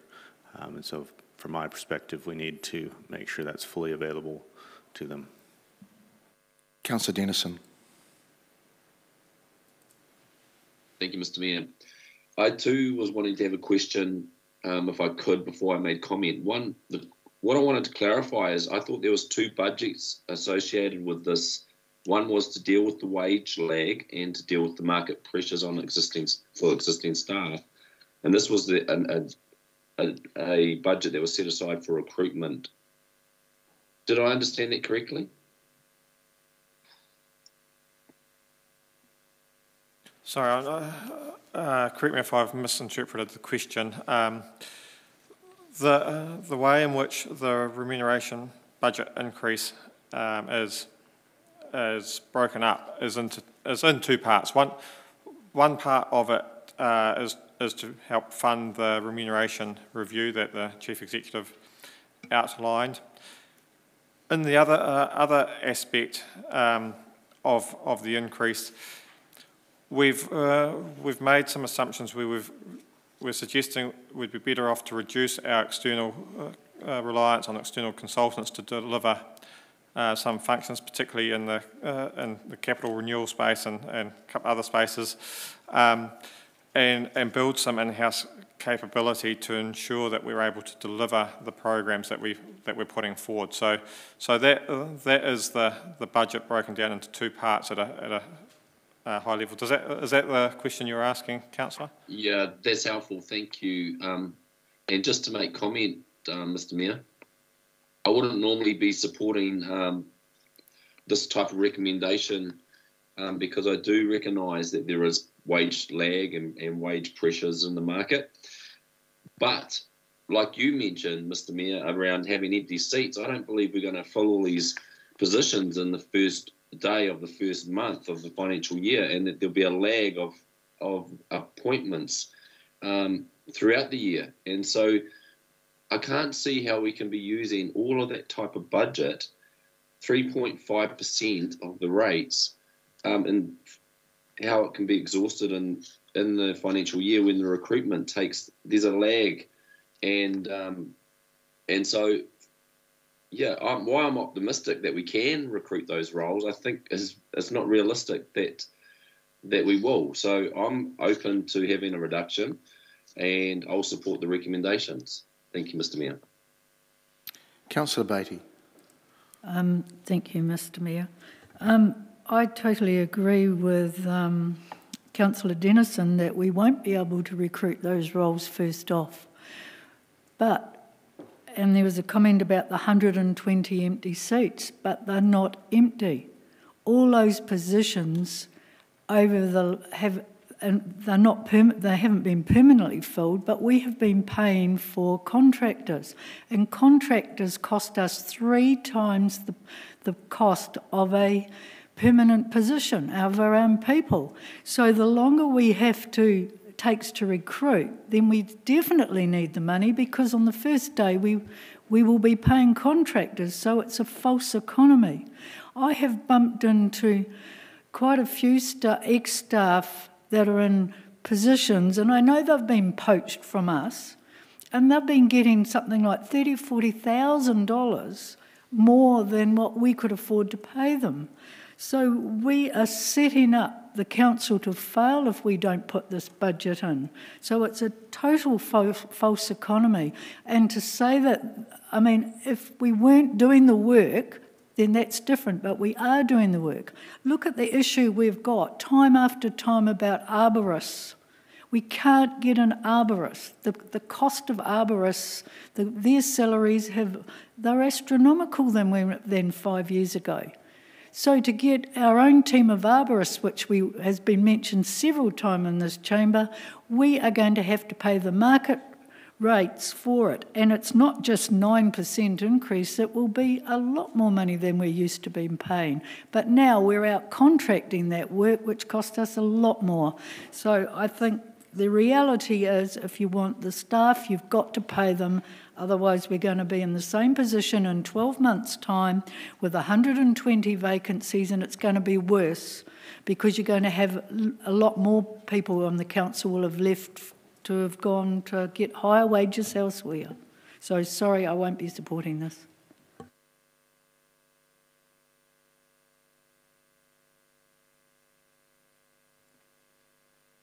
Uh, Councillor Hapeta.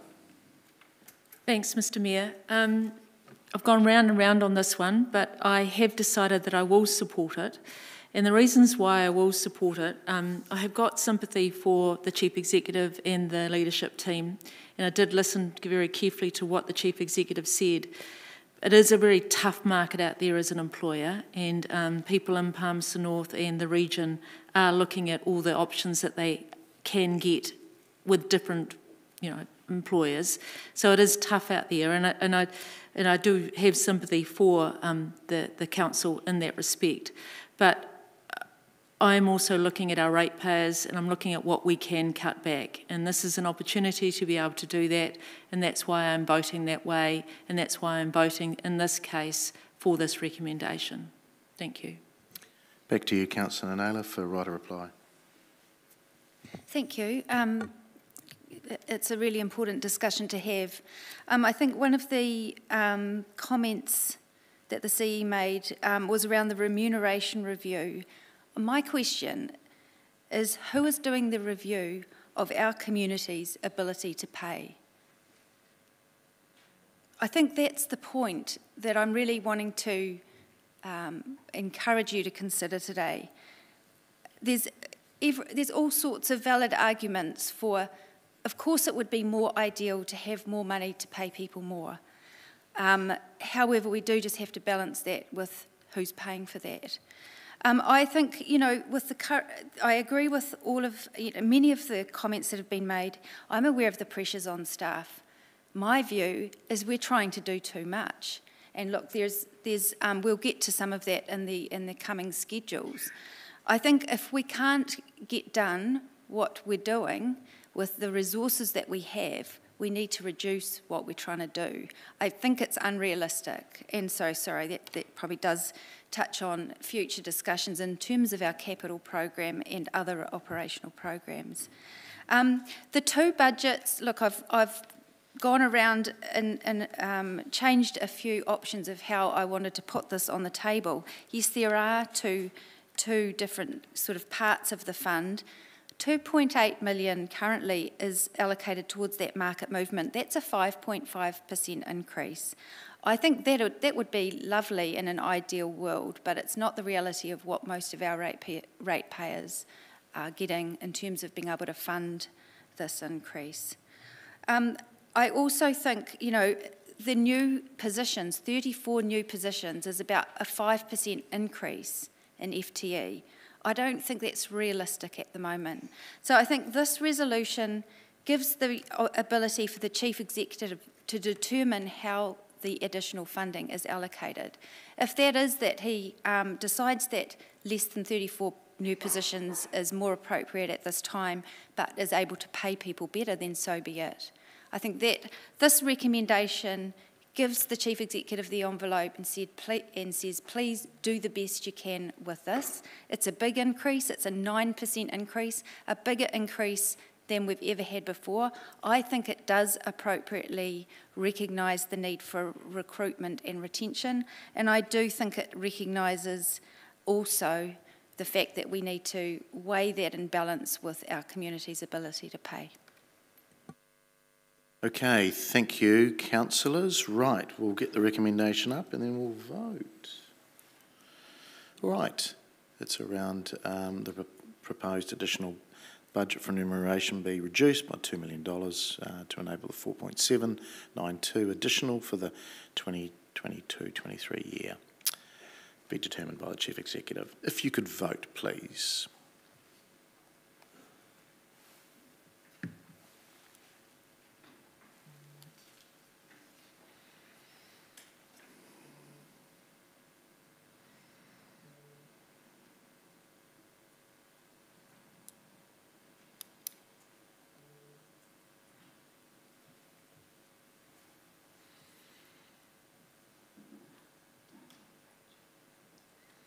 And that is passed. Eight votes for, seven against, and one abstention. Okay, we'll move now to um, number three, which is around, um, uh, it's a group of the blue on, on um, Schedule C, and it's around, if I can get it up, it's around the committee recommending that council reduce operational expenditure according to Schedule C uh, category with the following budget lines. Uh, 2133, the Health and Safety Improvement Program. Uh, the MSL operational budget around business assurance consultancy. Uh, MSL again around minor budget corrections and MSL around waste levy extra income there uh, increase in income. So that's been moved by Councillor Johnson, second by Councillor Naylor. I'll go to you, Councillor Johnson, to speak to it, please. Uh, okay, well, um, this encompasses the suggestions in um, attachment Schedule C that are in blue at the top. So that's the uh, identified reductions to be incorporated. And all of them are um, suggestions that uh, council staff have uh, put forward, uh, including the reduction in the health and safety programme, um, budget um, corrections, and a, a, sort of banking an increase in waste levy. So I don't think these are controversial. Um, when added up, they give us a saving of 0.77% on the rates. And so I'm hoping that you will support this. Thank you.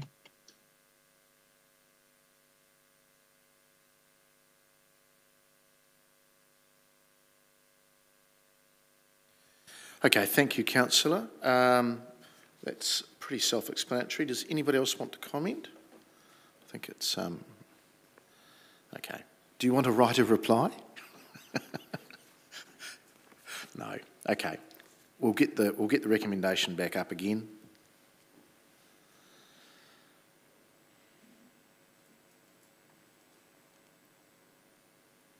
And I'll ask you to vote, please.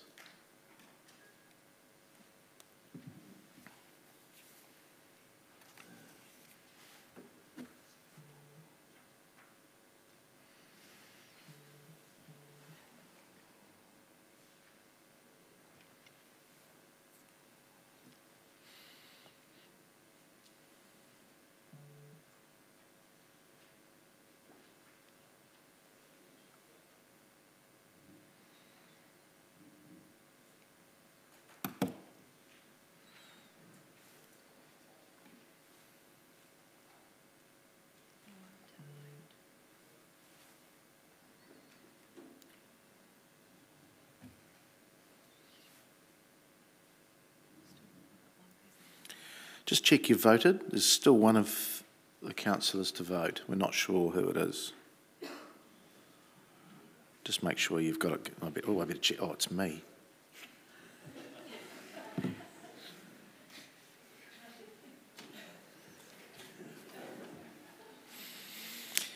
That's passed unanimously, 15 votes for. Thank you.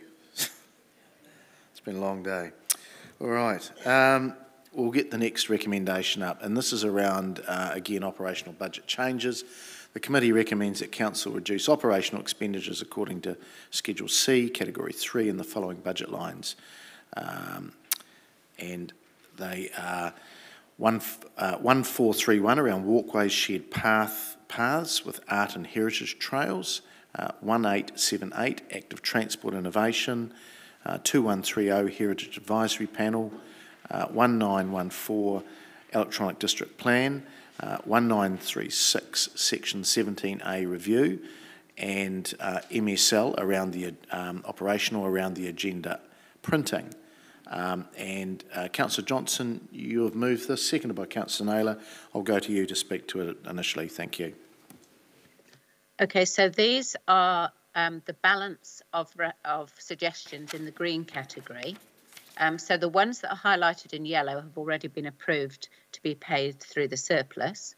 Um, of the remaining ones, um, I have um, left in, in other words, not suggested that we cut, the development contributions for community groups, the public education and co cat colony management, and predator-free Palmerston North. And um, I understand that other elected members may have different views about what's in and out on this particular one.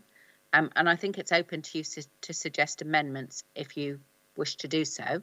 But this is my uh, starter, basically, on where I think we can make savings in this category. So um, I'm not going to talk about each one individually. I think the officer comment is sufficient. Thank you. Okay, thanks, Councillor. Um, Okay, I'll, I'll let look, I'll let it run because there's a few of you want to speak. Um, I've, I'll also speak at the end. Um, uh, Councillor Barrett. Uh, thank you, Mr Mayor. It will start off with a bit of just how we want to do this process-wise. I'd like to um, see 1878 separated. I think that might be the most clean way to approach that. I'm not prepared to cut that particular program.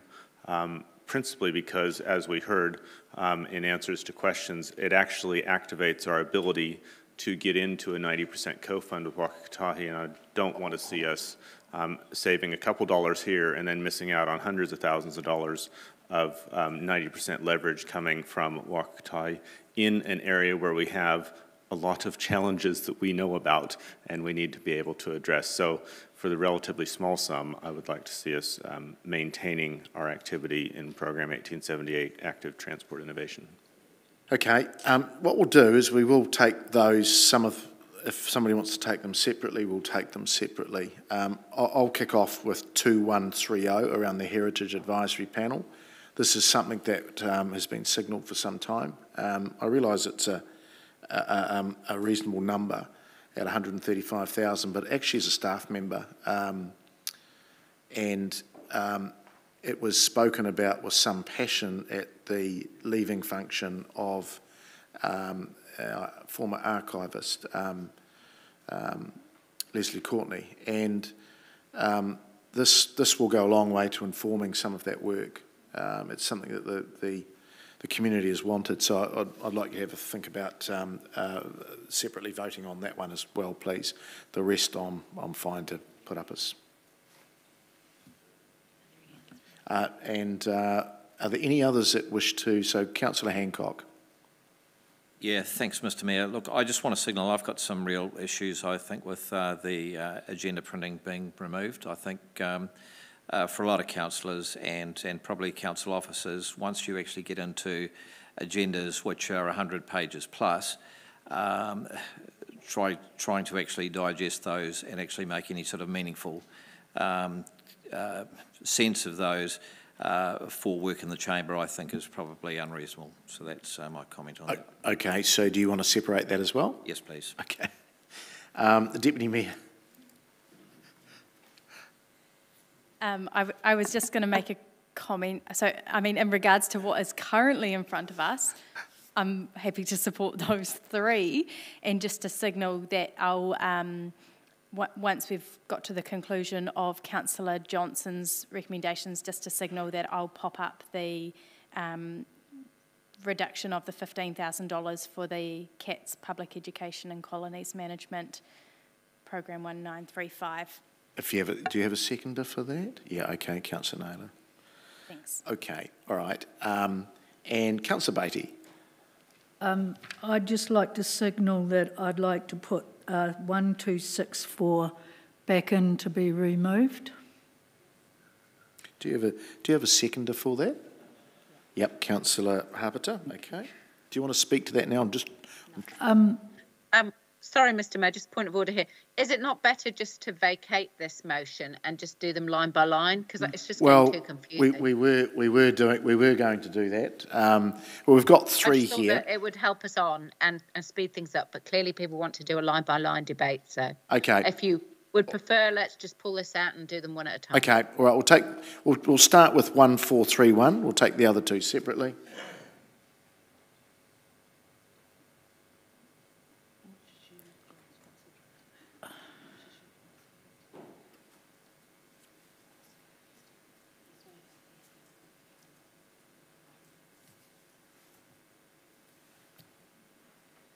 Just get it up on, just give, just give team a minute. Okay, so what, we're going to do them separately. So we've got the first one up, which is around uh, 1431, around walkways and shared pathways, art and heritage trail. So, um, councillor, do you want to just speak to this particular one? Uh, no, I don't. I, I think that's. All right. Anybody else wish to speak to this one? There being none, okay, we're going to vote on this particular, particular one.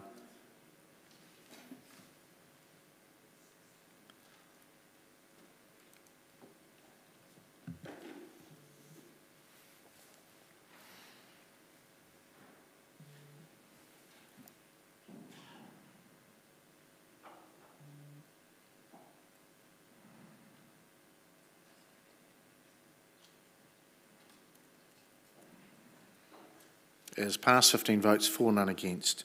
Okay, we'll now go to the second one. Now, this is around the um, 1914, it's around the electronic district plan. Um, Councillor, do you want to speak to this?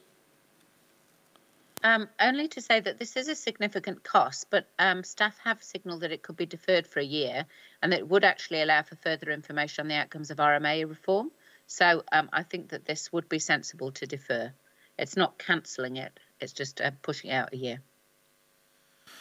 Yeah, I would have, having been um, involved in submissions around the RMA, there's still a bit of work. In fact, uh, uh, though I think the Deputy Mayor and I were at the, at the luncheon yesterday, and I can specifically recall the Deputy Prime Minister talking about this big bit of work that's been going on in RMA, uh, and it's still going on, and it'll still be going through the House by the time um, this program would have been in our plan. So as long as it's not um, cancelled, and it's certainly there, um, I'm happy to support a deferment of just one year.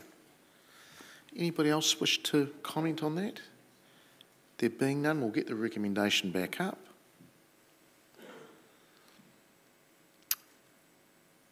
And we will vote, please.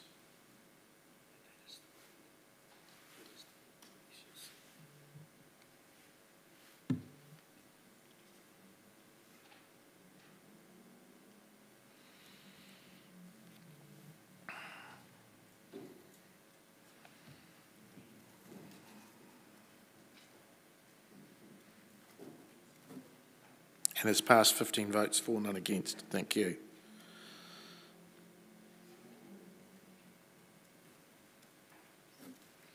Right, we will be putting up the, this is the um, one around 1878, Active Transport Innovation. Um, and uh, back to you, councillor. Um, yeah, so this one again is a, a one year deferral, which according to officers is low risk. Um, I understand that there's a potential of Waka Kotahi co funding, but it is only a potential. And as you said yourself, we've been a little bit unlucky with some of our Waka Kotahi co funding recently.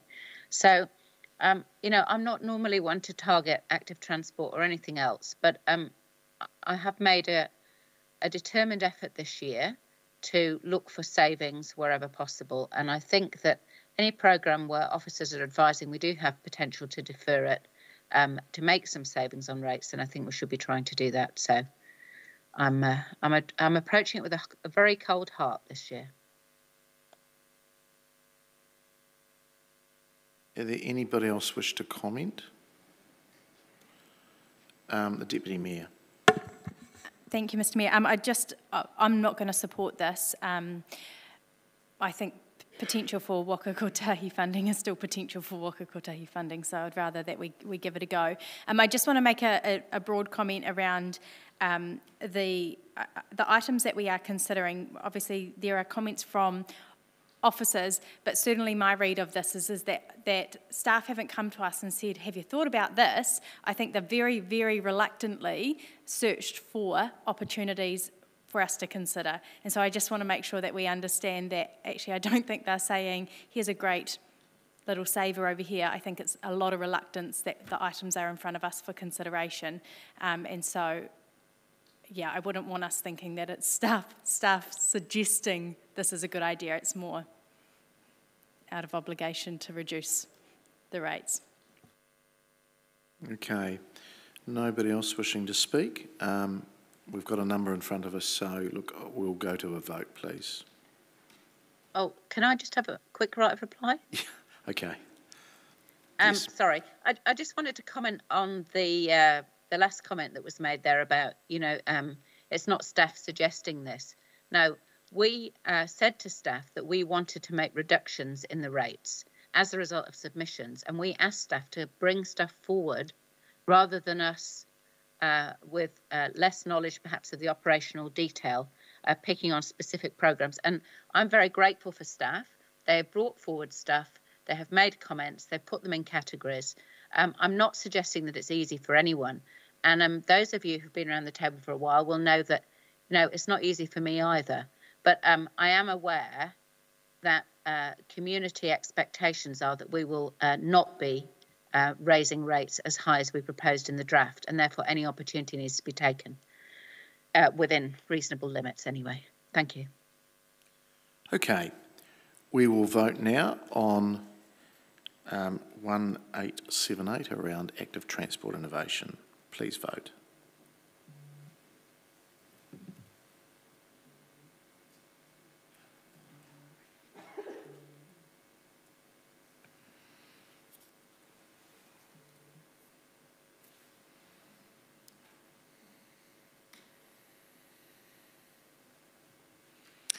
And that is passed 10 votes for and six against.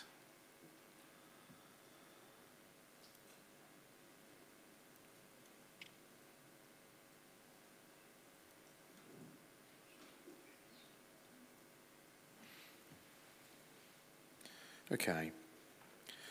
Right, we will now move to um, 2130, Heritage Advisory Panel. Um, over to you, Councillor.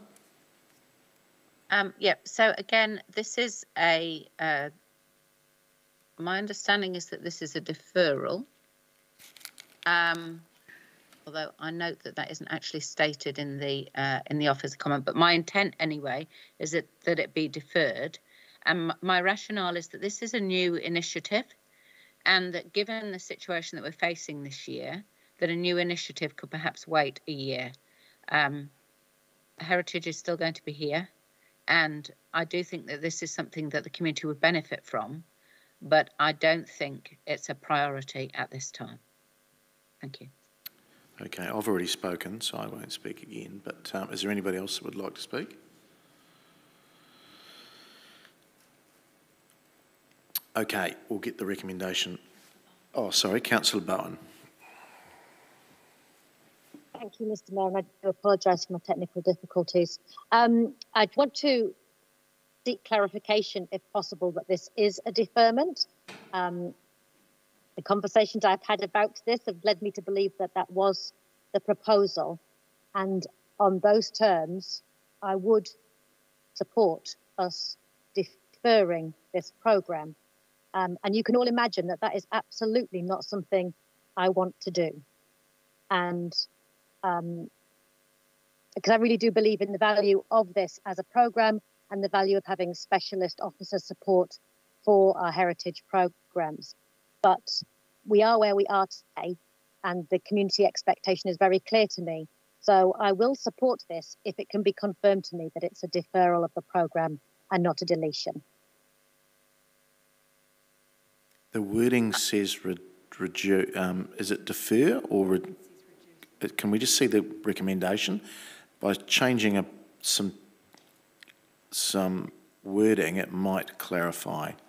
It says reduce. So I'm I'm happy to change that to defer Okay.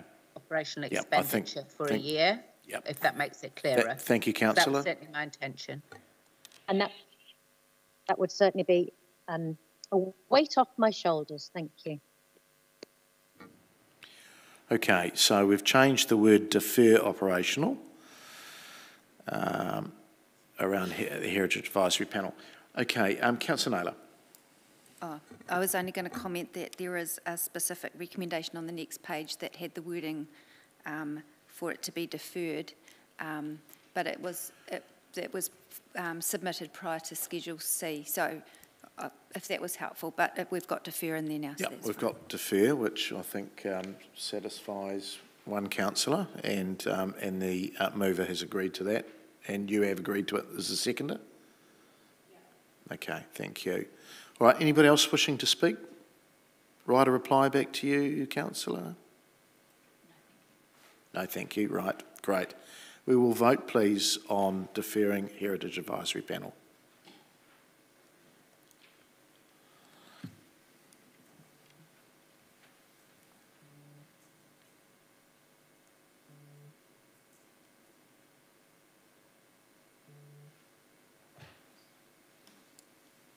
And that is passed. 14 votes for and 2 against.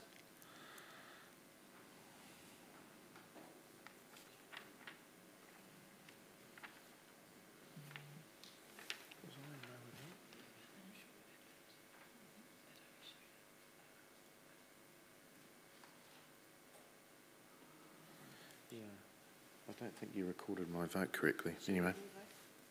Can we just take a revote on that? My vote was not recorded correctly. Don't think it's going to make much difference, but. So we're just going to re vote on this, please.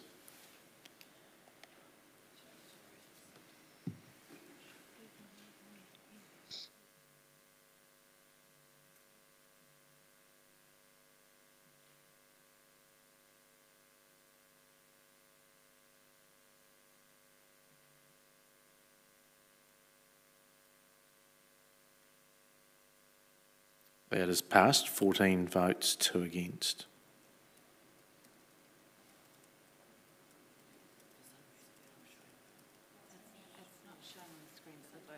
Right, okay. Okay, if you can just double check that. All right, didn't make much difference anyway. Um, okay, moving on to the next one. Um, and this is around uh, program 1936, section 17A review. Uh, back to you, councillor. Um, yes, I think um, we've certainly done enough Section 17A reviews recently uh, without needing to budget in for another one.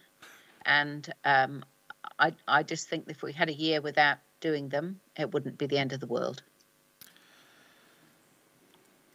Okay, uh, there's a ditto from me, definitely. Um, anybody else wishing to speak? No? I don't think you need a, oh, there is, okay. Uh, Councillor Hapeta. Sorry, just an officer comment. Um, is there any obligation in that we have to do any in the next financial year?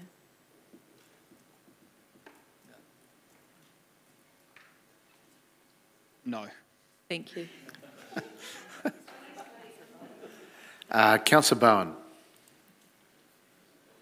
Thank you, Mr. Mayor. Just to say that I do support this one. Um, if there is a sudden unexpected need to Section 17A review something, then that can come through the chamber and we can put a fund in place, but we don't need to budget for it at this stage. Okay. All right. No need for reply, Councillor? Okay, let's put this to the vote.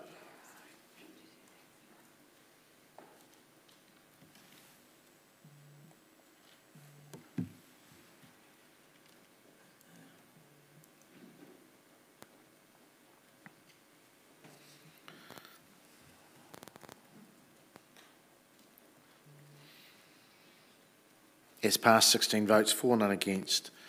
Right, we now go to the MSL operational funding and around um, uh, reducing the agenda printing.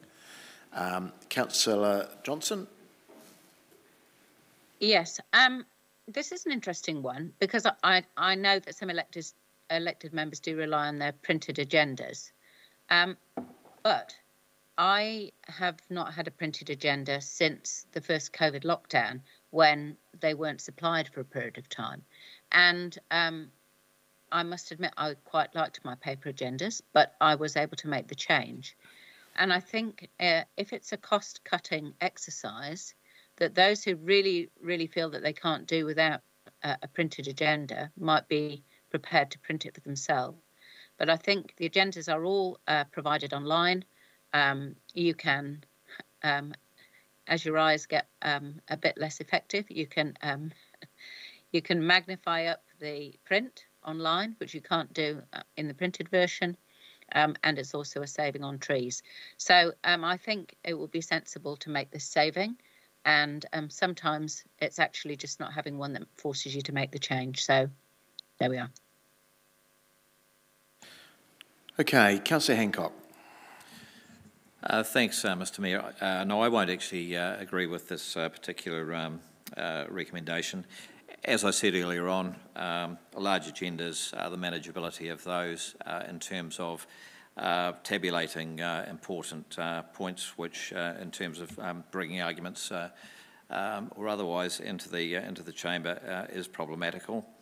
Um, I think we do have some obligation to all members of, of the public uh, not all uh, members of the public are millennials. Um, and in terms of um, encouraging democracy, uh, there are some risks there in terms of making sure that we are inclusive of all people and uh, are encouraging participation in the de democratic process. So for those reasons, I won't, uh, won't support it. Um, the Deputy Mayor. Thank you, Mr Mayor. Um, I am happy to support this recommendation. Um, my only concern with it was around um, providing the hard copies to our community, and whilst it wasn't directly answered um, or confirmed as to whether that could continue, I certainly think there would be scope that if, if we're looking at supplying one or two hard copies, whether it's um, downstairs or in the libraries, then um, that's more an area that I'd be interested in in continuing. Um, in terms of uh, getting the agenda to staff and elected members, um, you know, one option is, is that we make a device available to people in their role that they could access it through there. Um, you know, if we already do that, then we've already ticked that box. But um, I certainly think that uh, it's not a um, it's not an age issue and it's not an accessibility issue. I recall Councillor Findlay very proudly telling us multiple times that he was the first paper free elected member. Um, and so I, I, would say that, yeah, this, this is a great step for us to take uh, at this stage. Thank you.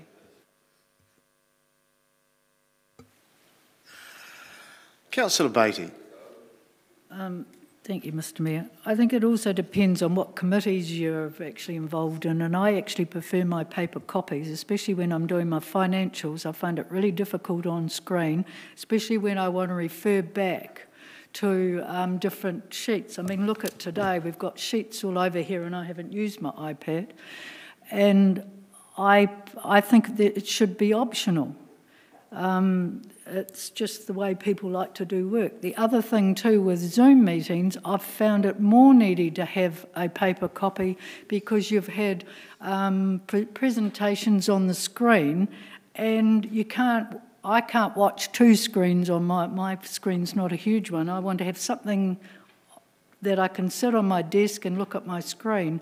And I think that if you're making it difficult for people to do their work, I don't think that's fair. And I, whether this goes through or not, if I have to pay for my own co paper copies, I'll pick them up. But I'm, and I certainly don't want to print them off on my little, little home printer, which won't be able to cope with all the. So I, th I think people are being pretty picky uh, um, on something that it makes it difficult for some people to do the work. And I think, you know, I might have a disability that I need paper, so whatever. Um, Councillor Dingwall. Thank you, Mr. Mayor.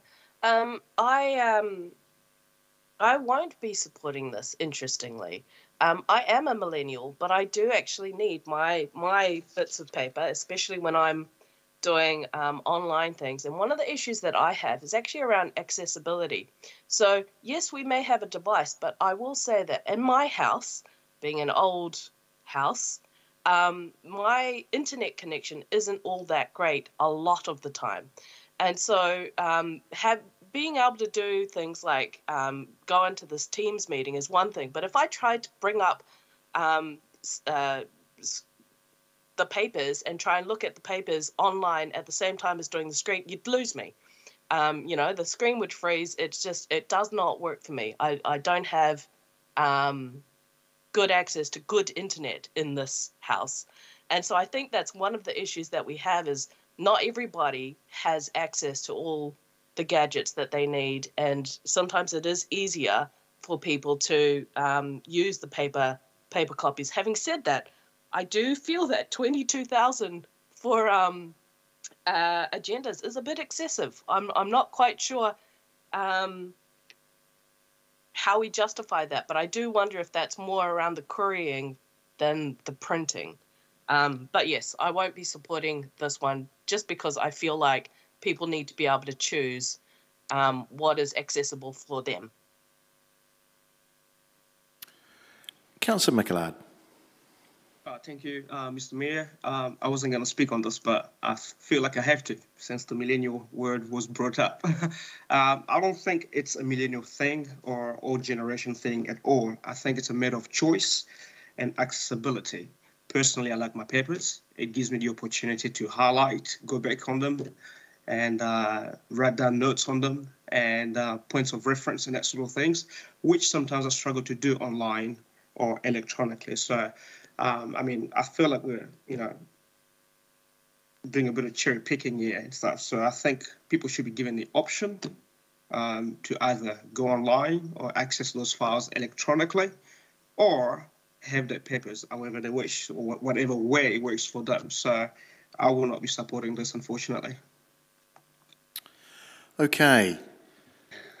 Oh, Councillor Dennison. I was just be very quick. I've just done a little survey, and two out of three millennials rather have a paper copy, and I just thought that was an interesting fun fact. have you finished? Thank you, Mr. Mayor. Uh, I can't understand why we are spending so much time on this, but anyway. Back to you, Councillor, for right of reply. Oh, I don't have a right of reply after that, Mr. Mayor. Thank you. okay, let's get it up on screen. We've spent 15 minutes on this. Um, all right, this is around uh, reducing uh, the agenda printing. Can you vote, please?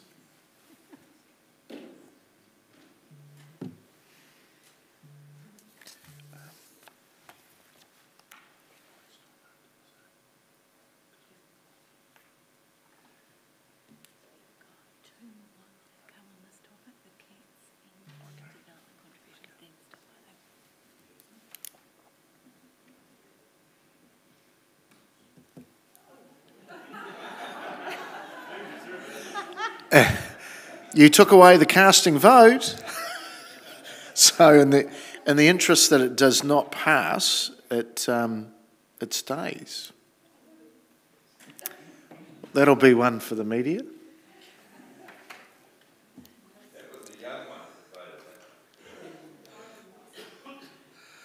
Okay, right. Um, we have got now somebody. Oh, here we go. Um, okay, this comes from the Deputy Mayor around uh, program 1935 around cats, public education and colonies management. The Deputy Mayor. Uh, just briefly, obviously this program is in response to the bylaw that we established. Um, however, I do have a level of comfort knowing that there are actually groups in the community who are working in this space, so we won't be, um, there won't be a void in the city um, for this work. So I'm, I'm happy to add this to the community response to reduce the rates. Okay, um, open it for any comments. Um, Councillor Johnson.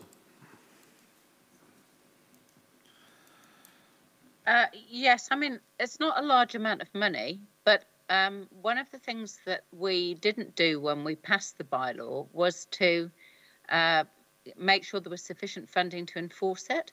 And so I do think if we've got the bylaw and we're not doing anything either in terms of public education or in terms of colony management, then we're not really um, being very authentic in in having the bylaw in the first place. Um, and the other thing I would say is that actually the colonies co- cause a huge amount of nuisance. And there's a public health element in controlling cat colonies. Um, cats do uh, carry a number of uh, transmissible diseases to people, uh, particularly toxoplasmosis. So I do think uh, it will be sensible to maintain this very small amount of funding for the amount of benefit that the community would get from it. Thank you. Okay. Um, anybody else wish to comment? No? Write a reply? Deputy Mayor? No. Okay, we're going to put it to the vote. Thank you.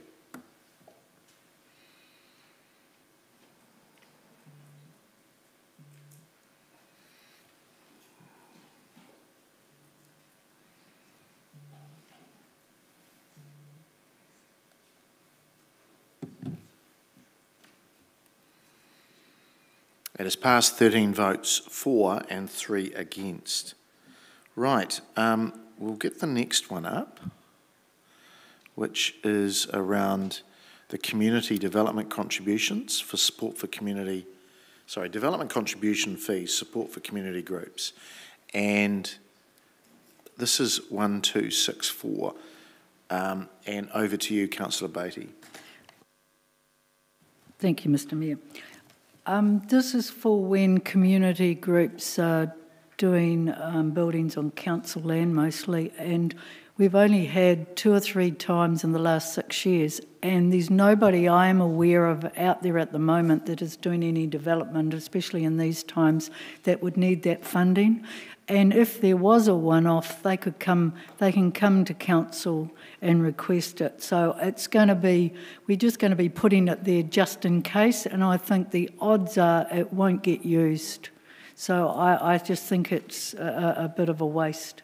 If, if I really thought there was some community, I mean, looking out there of all the groups that I know, like the, it's the railway that's used it, um, cricket, there's men's shed they were building, but everybody that's been doing development has already has already been involved, you know, involved with the fund. So I just don't think we need it.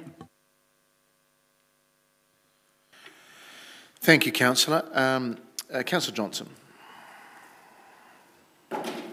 Yeah, I mean, I wasn't going to propose this, but I do have a level of comfort with taking it out of the budget, to be fair. Um, it hasn't been used that often.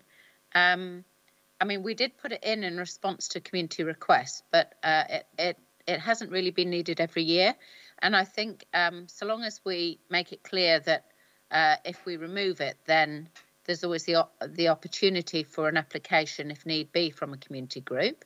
Um, then I'm happy to remove it because I think, as Councillor Baty says, otherwise we may be budgeting for it and not needing it, and then that's an unnecessary burden. So I, I will support this. Thank you. Okay, thank you. Anybody else wishing to speak? There being none, you don't need to write a reply, do you? No. Okay, we're going to vote.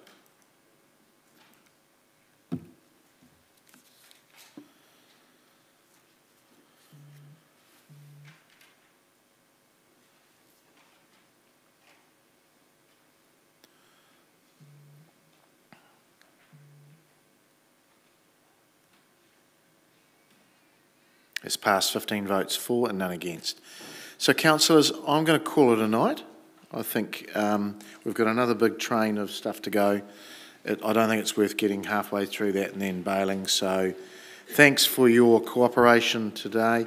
We're in the we're in the sixes, but I, we just got to in terms of percentages. So, but it's not gospel yet. So um, let's just let the staff work on the background about that. Uh, thanks for your cooperation. Thank you to the staff. Um, and uh, we'll see you tomorrow at 9 a.m. Are we offline?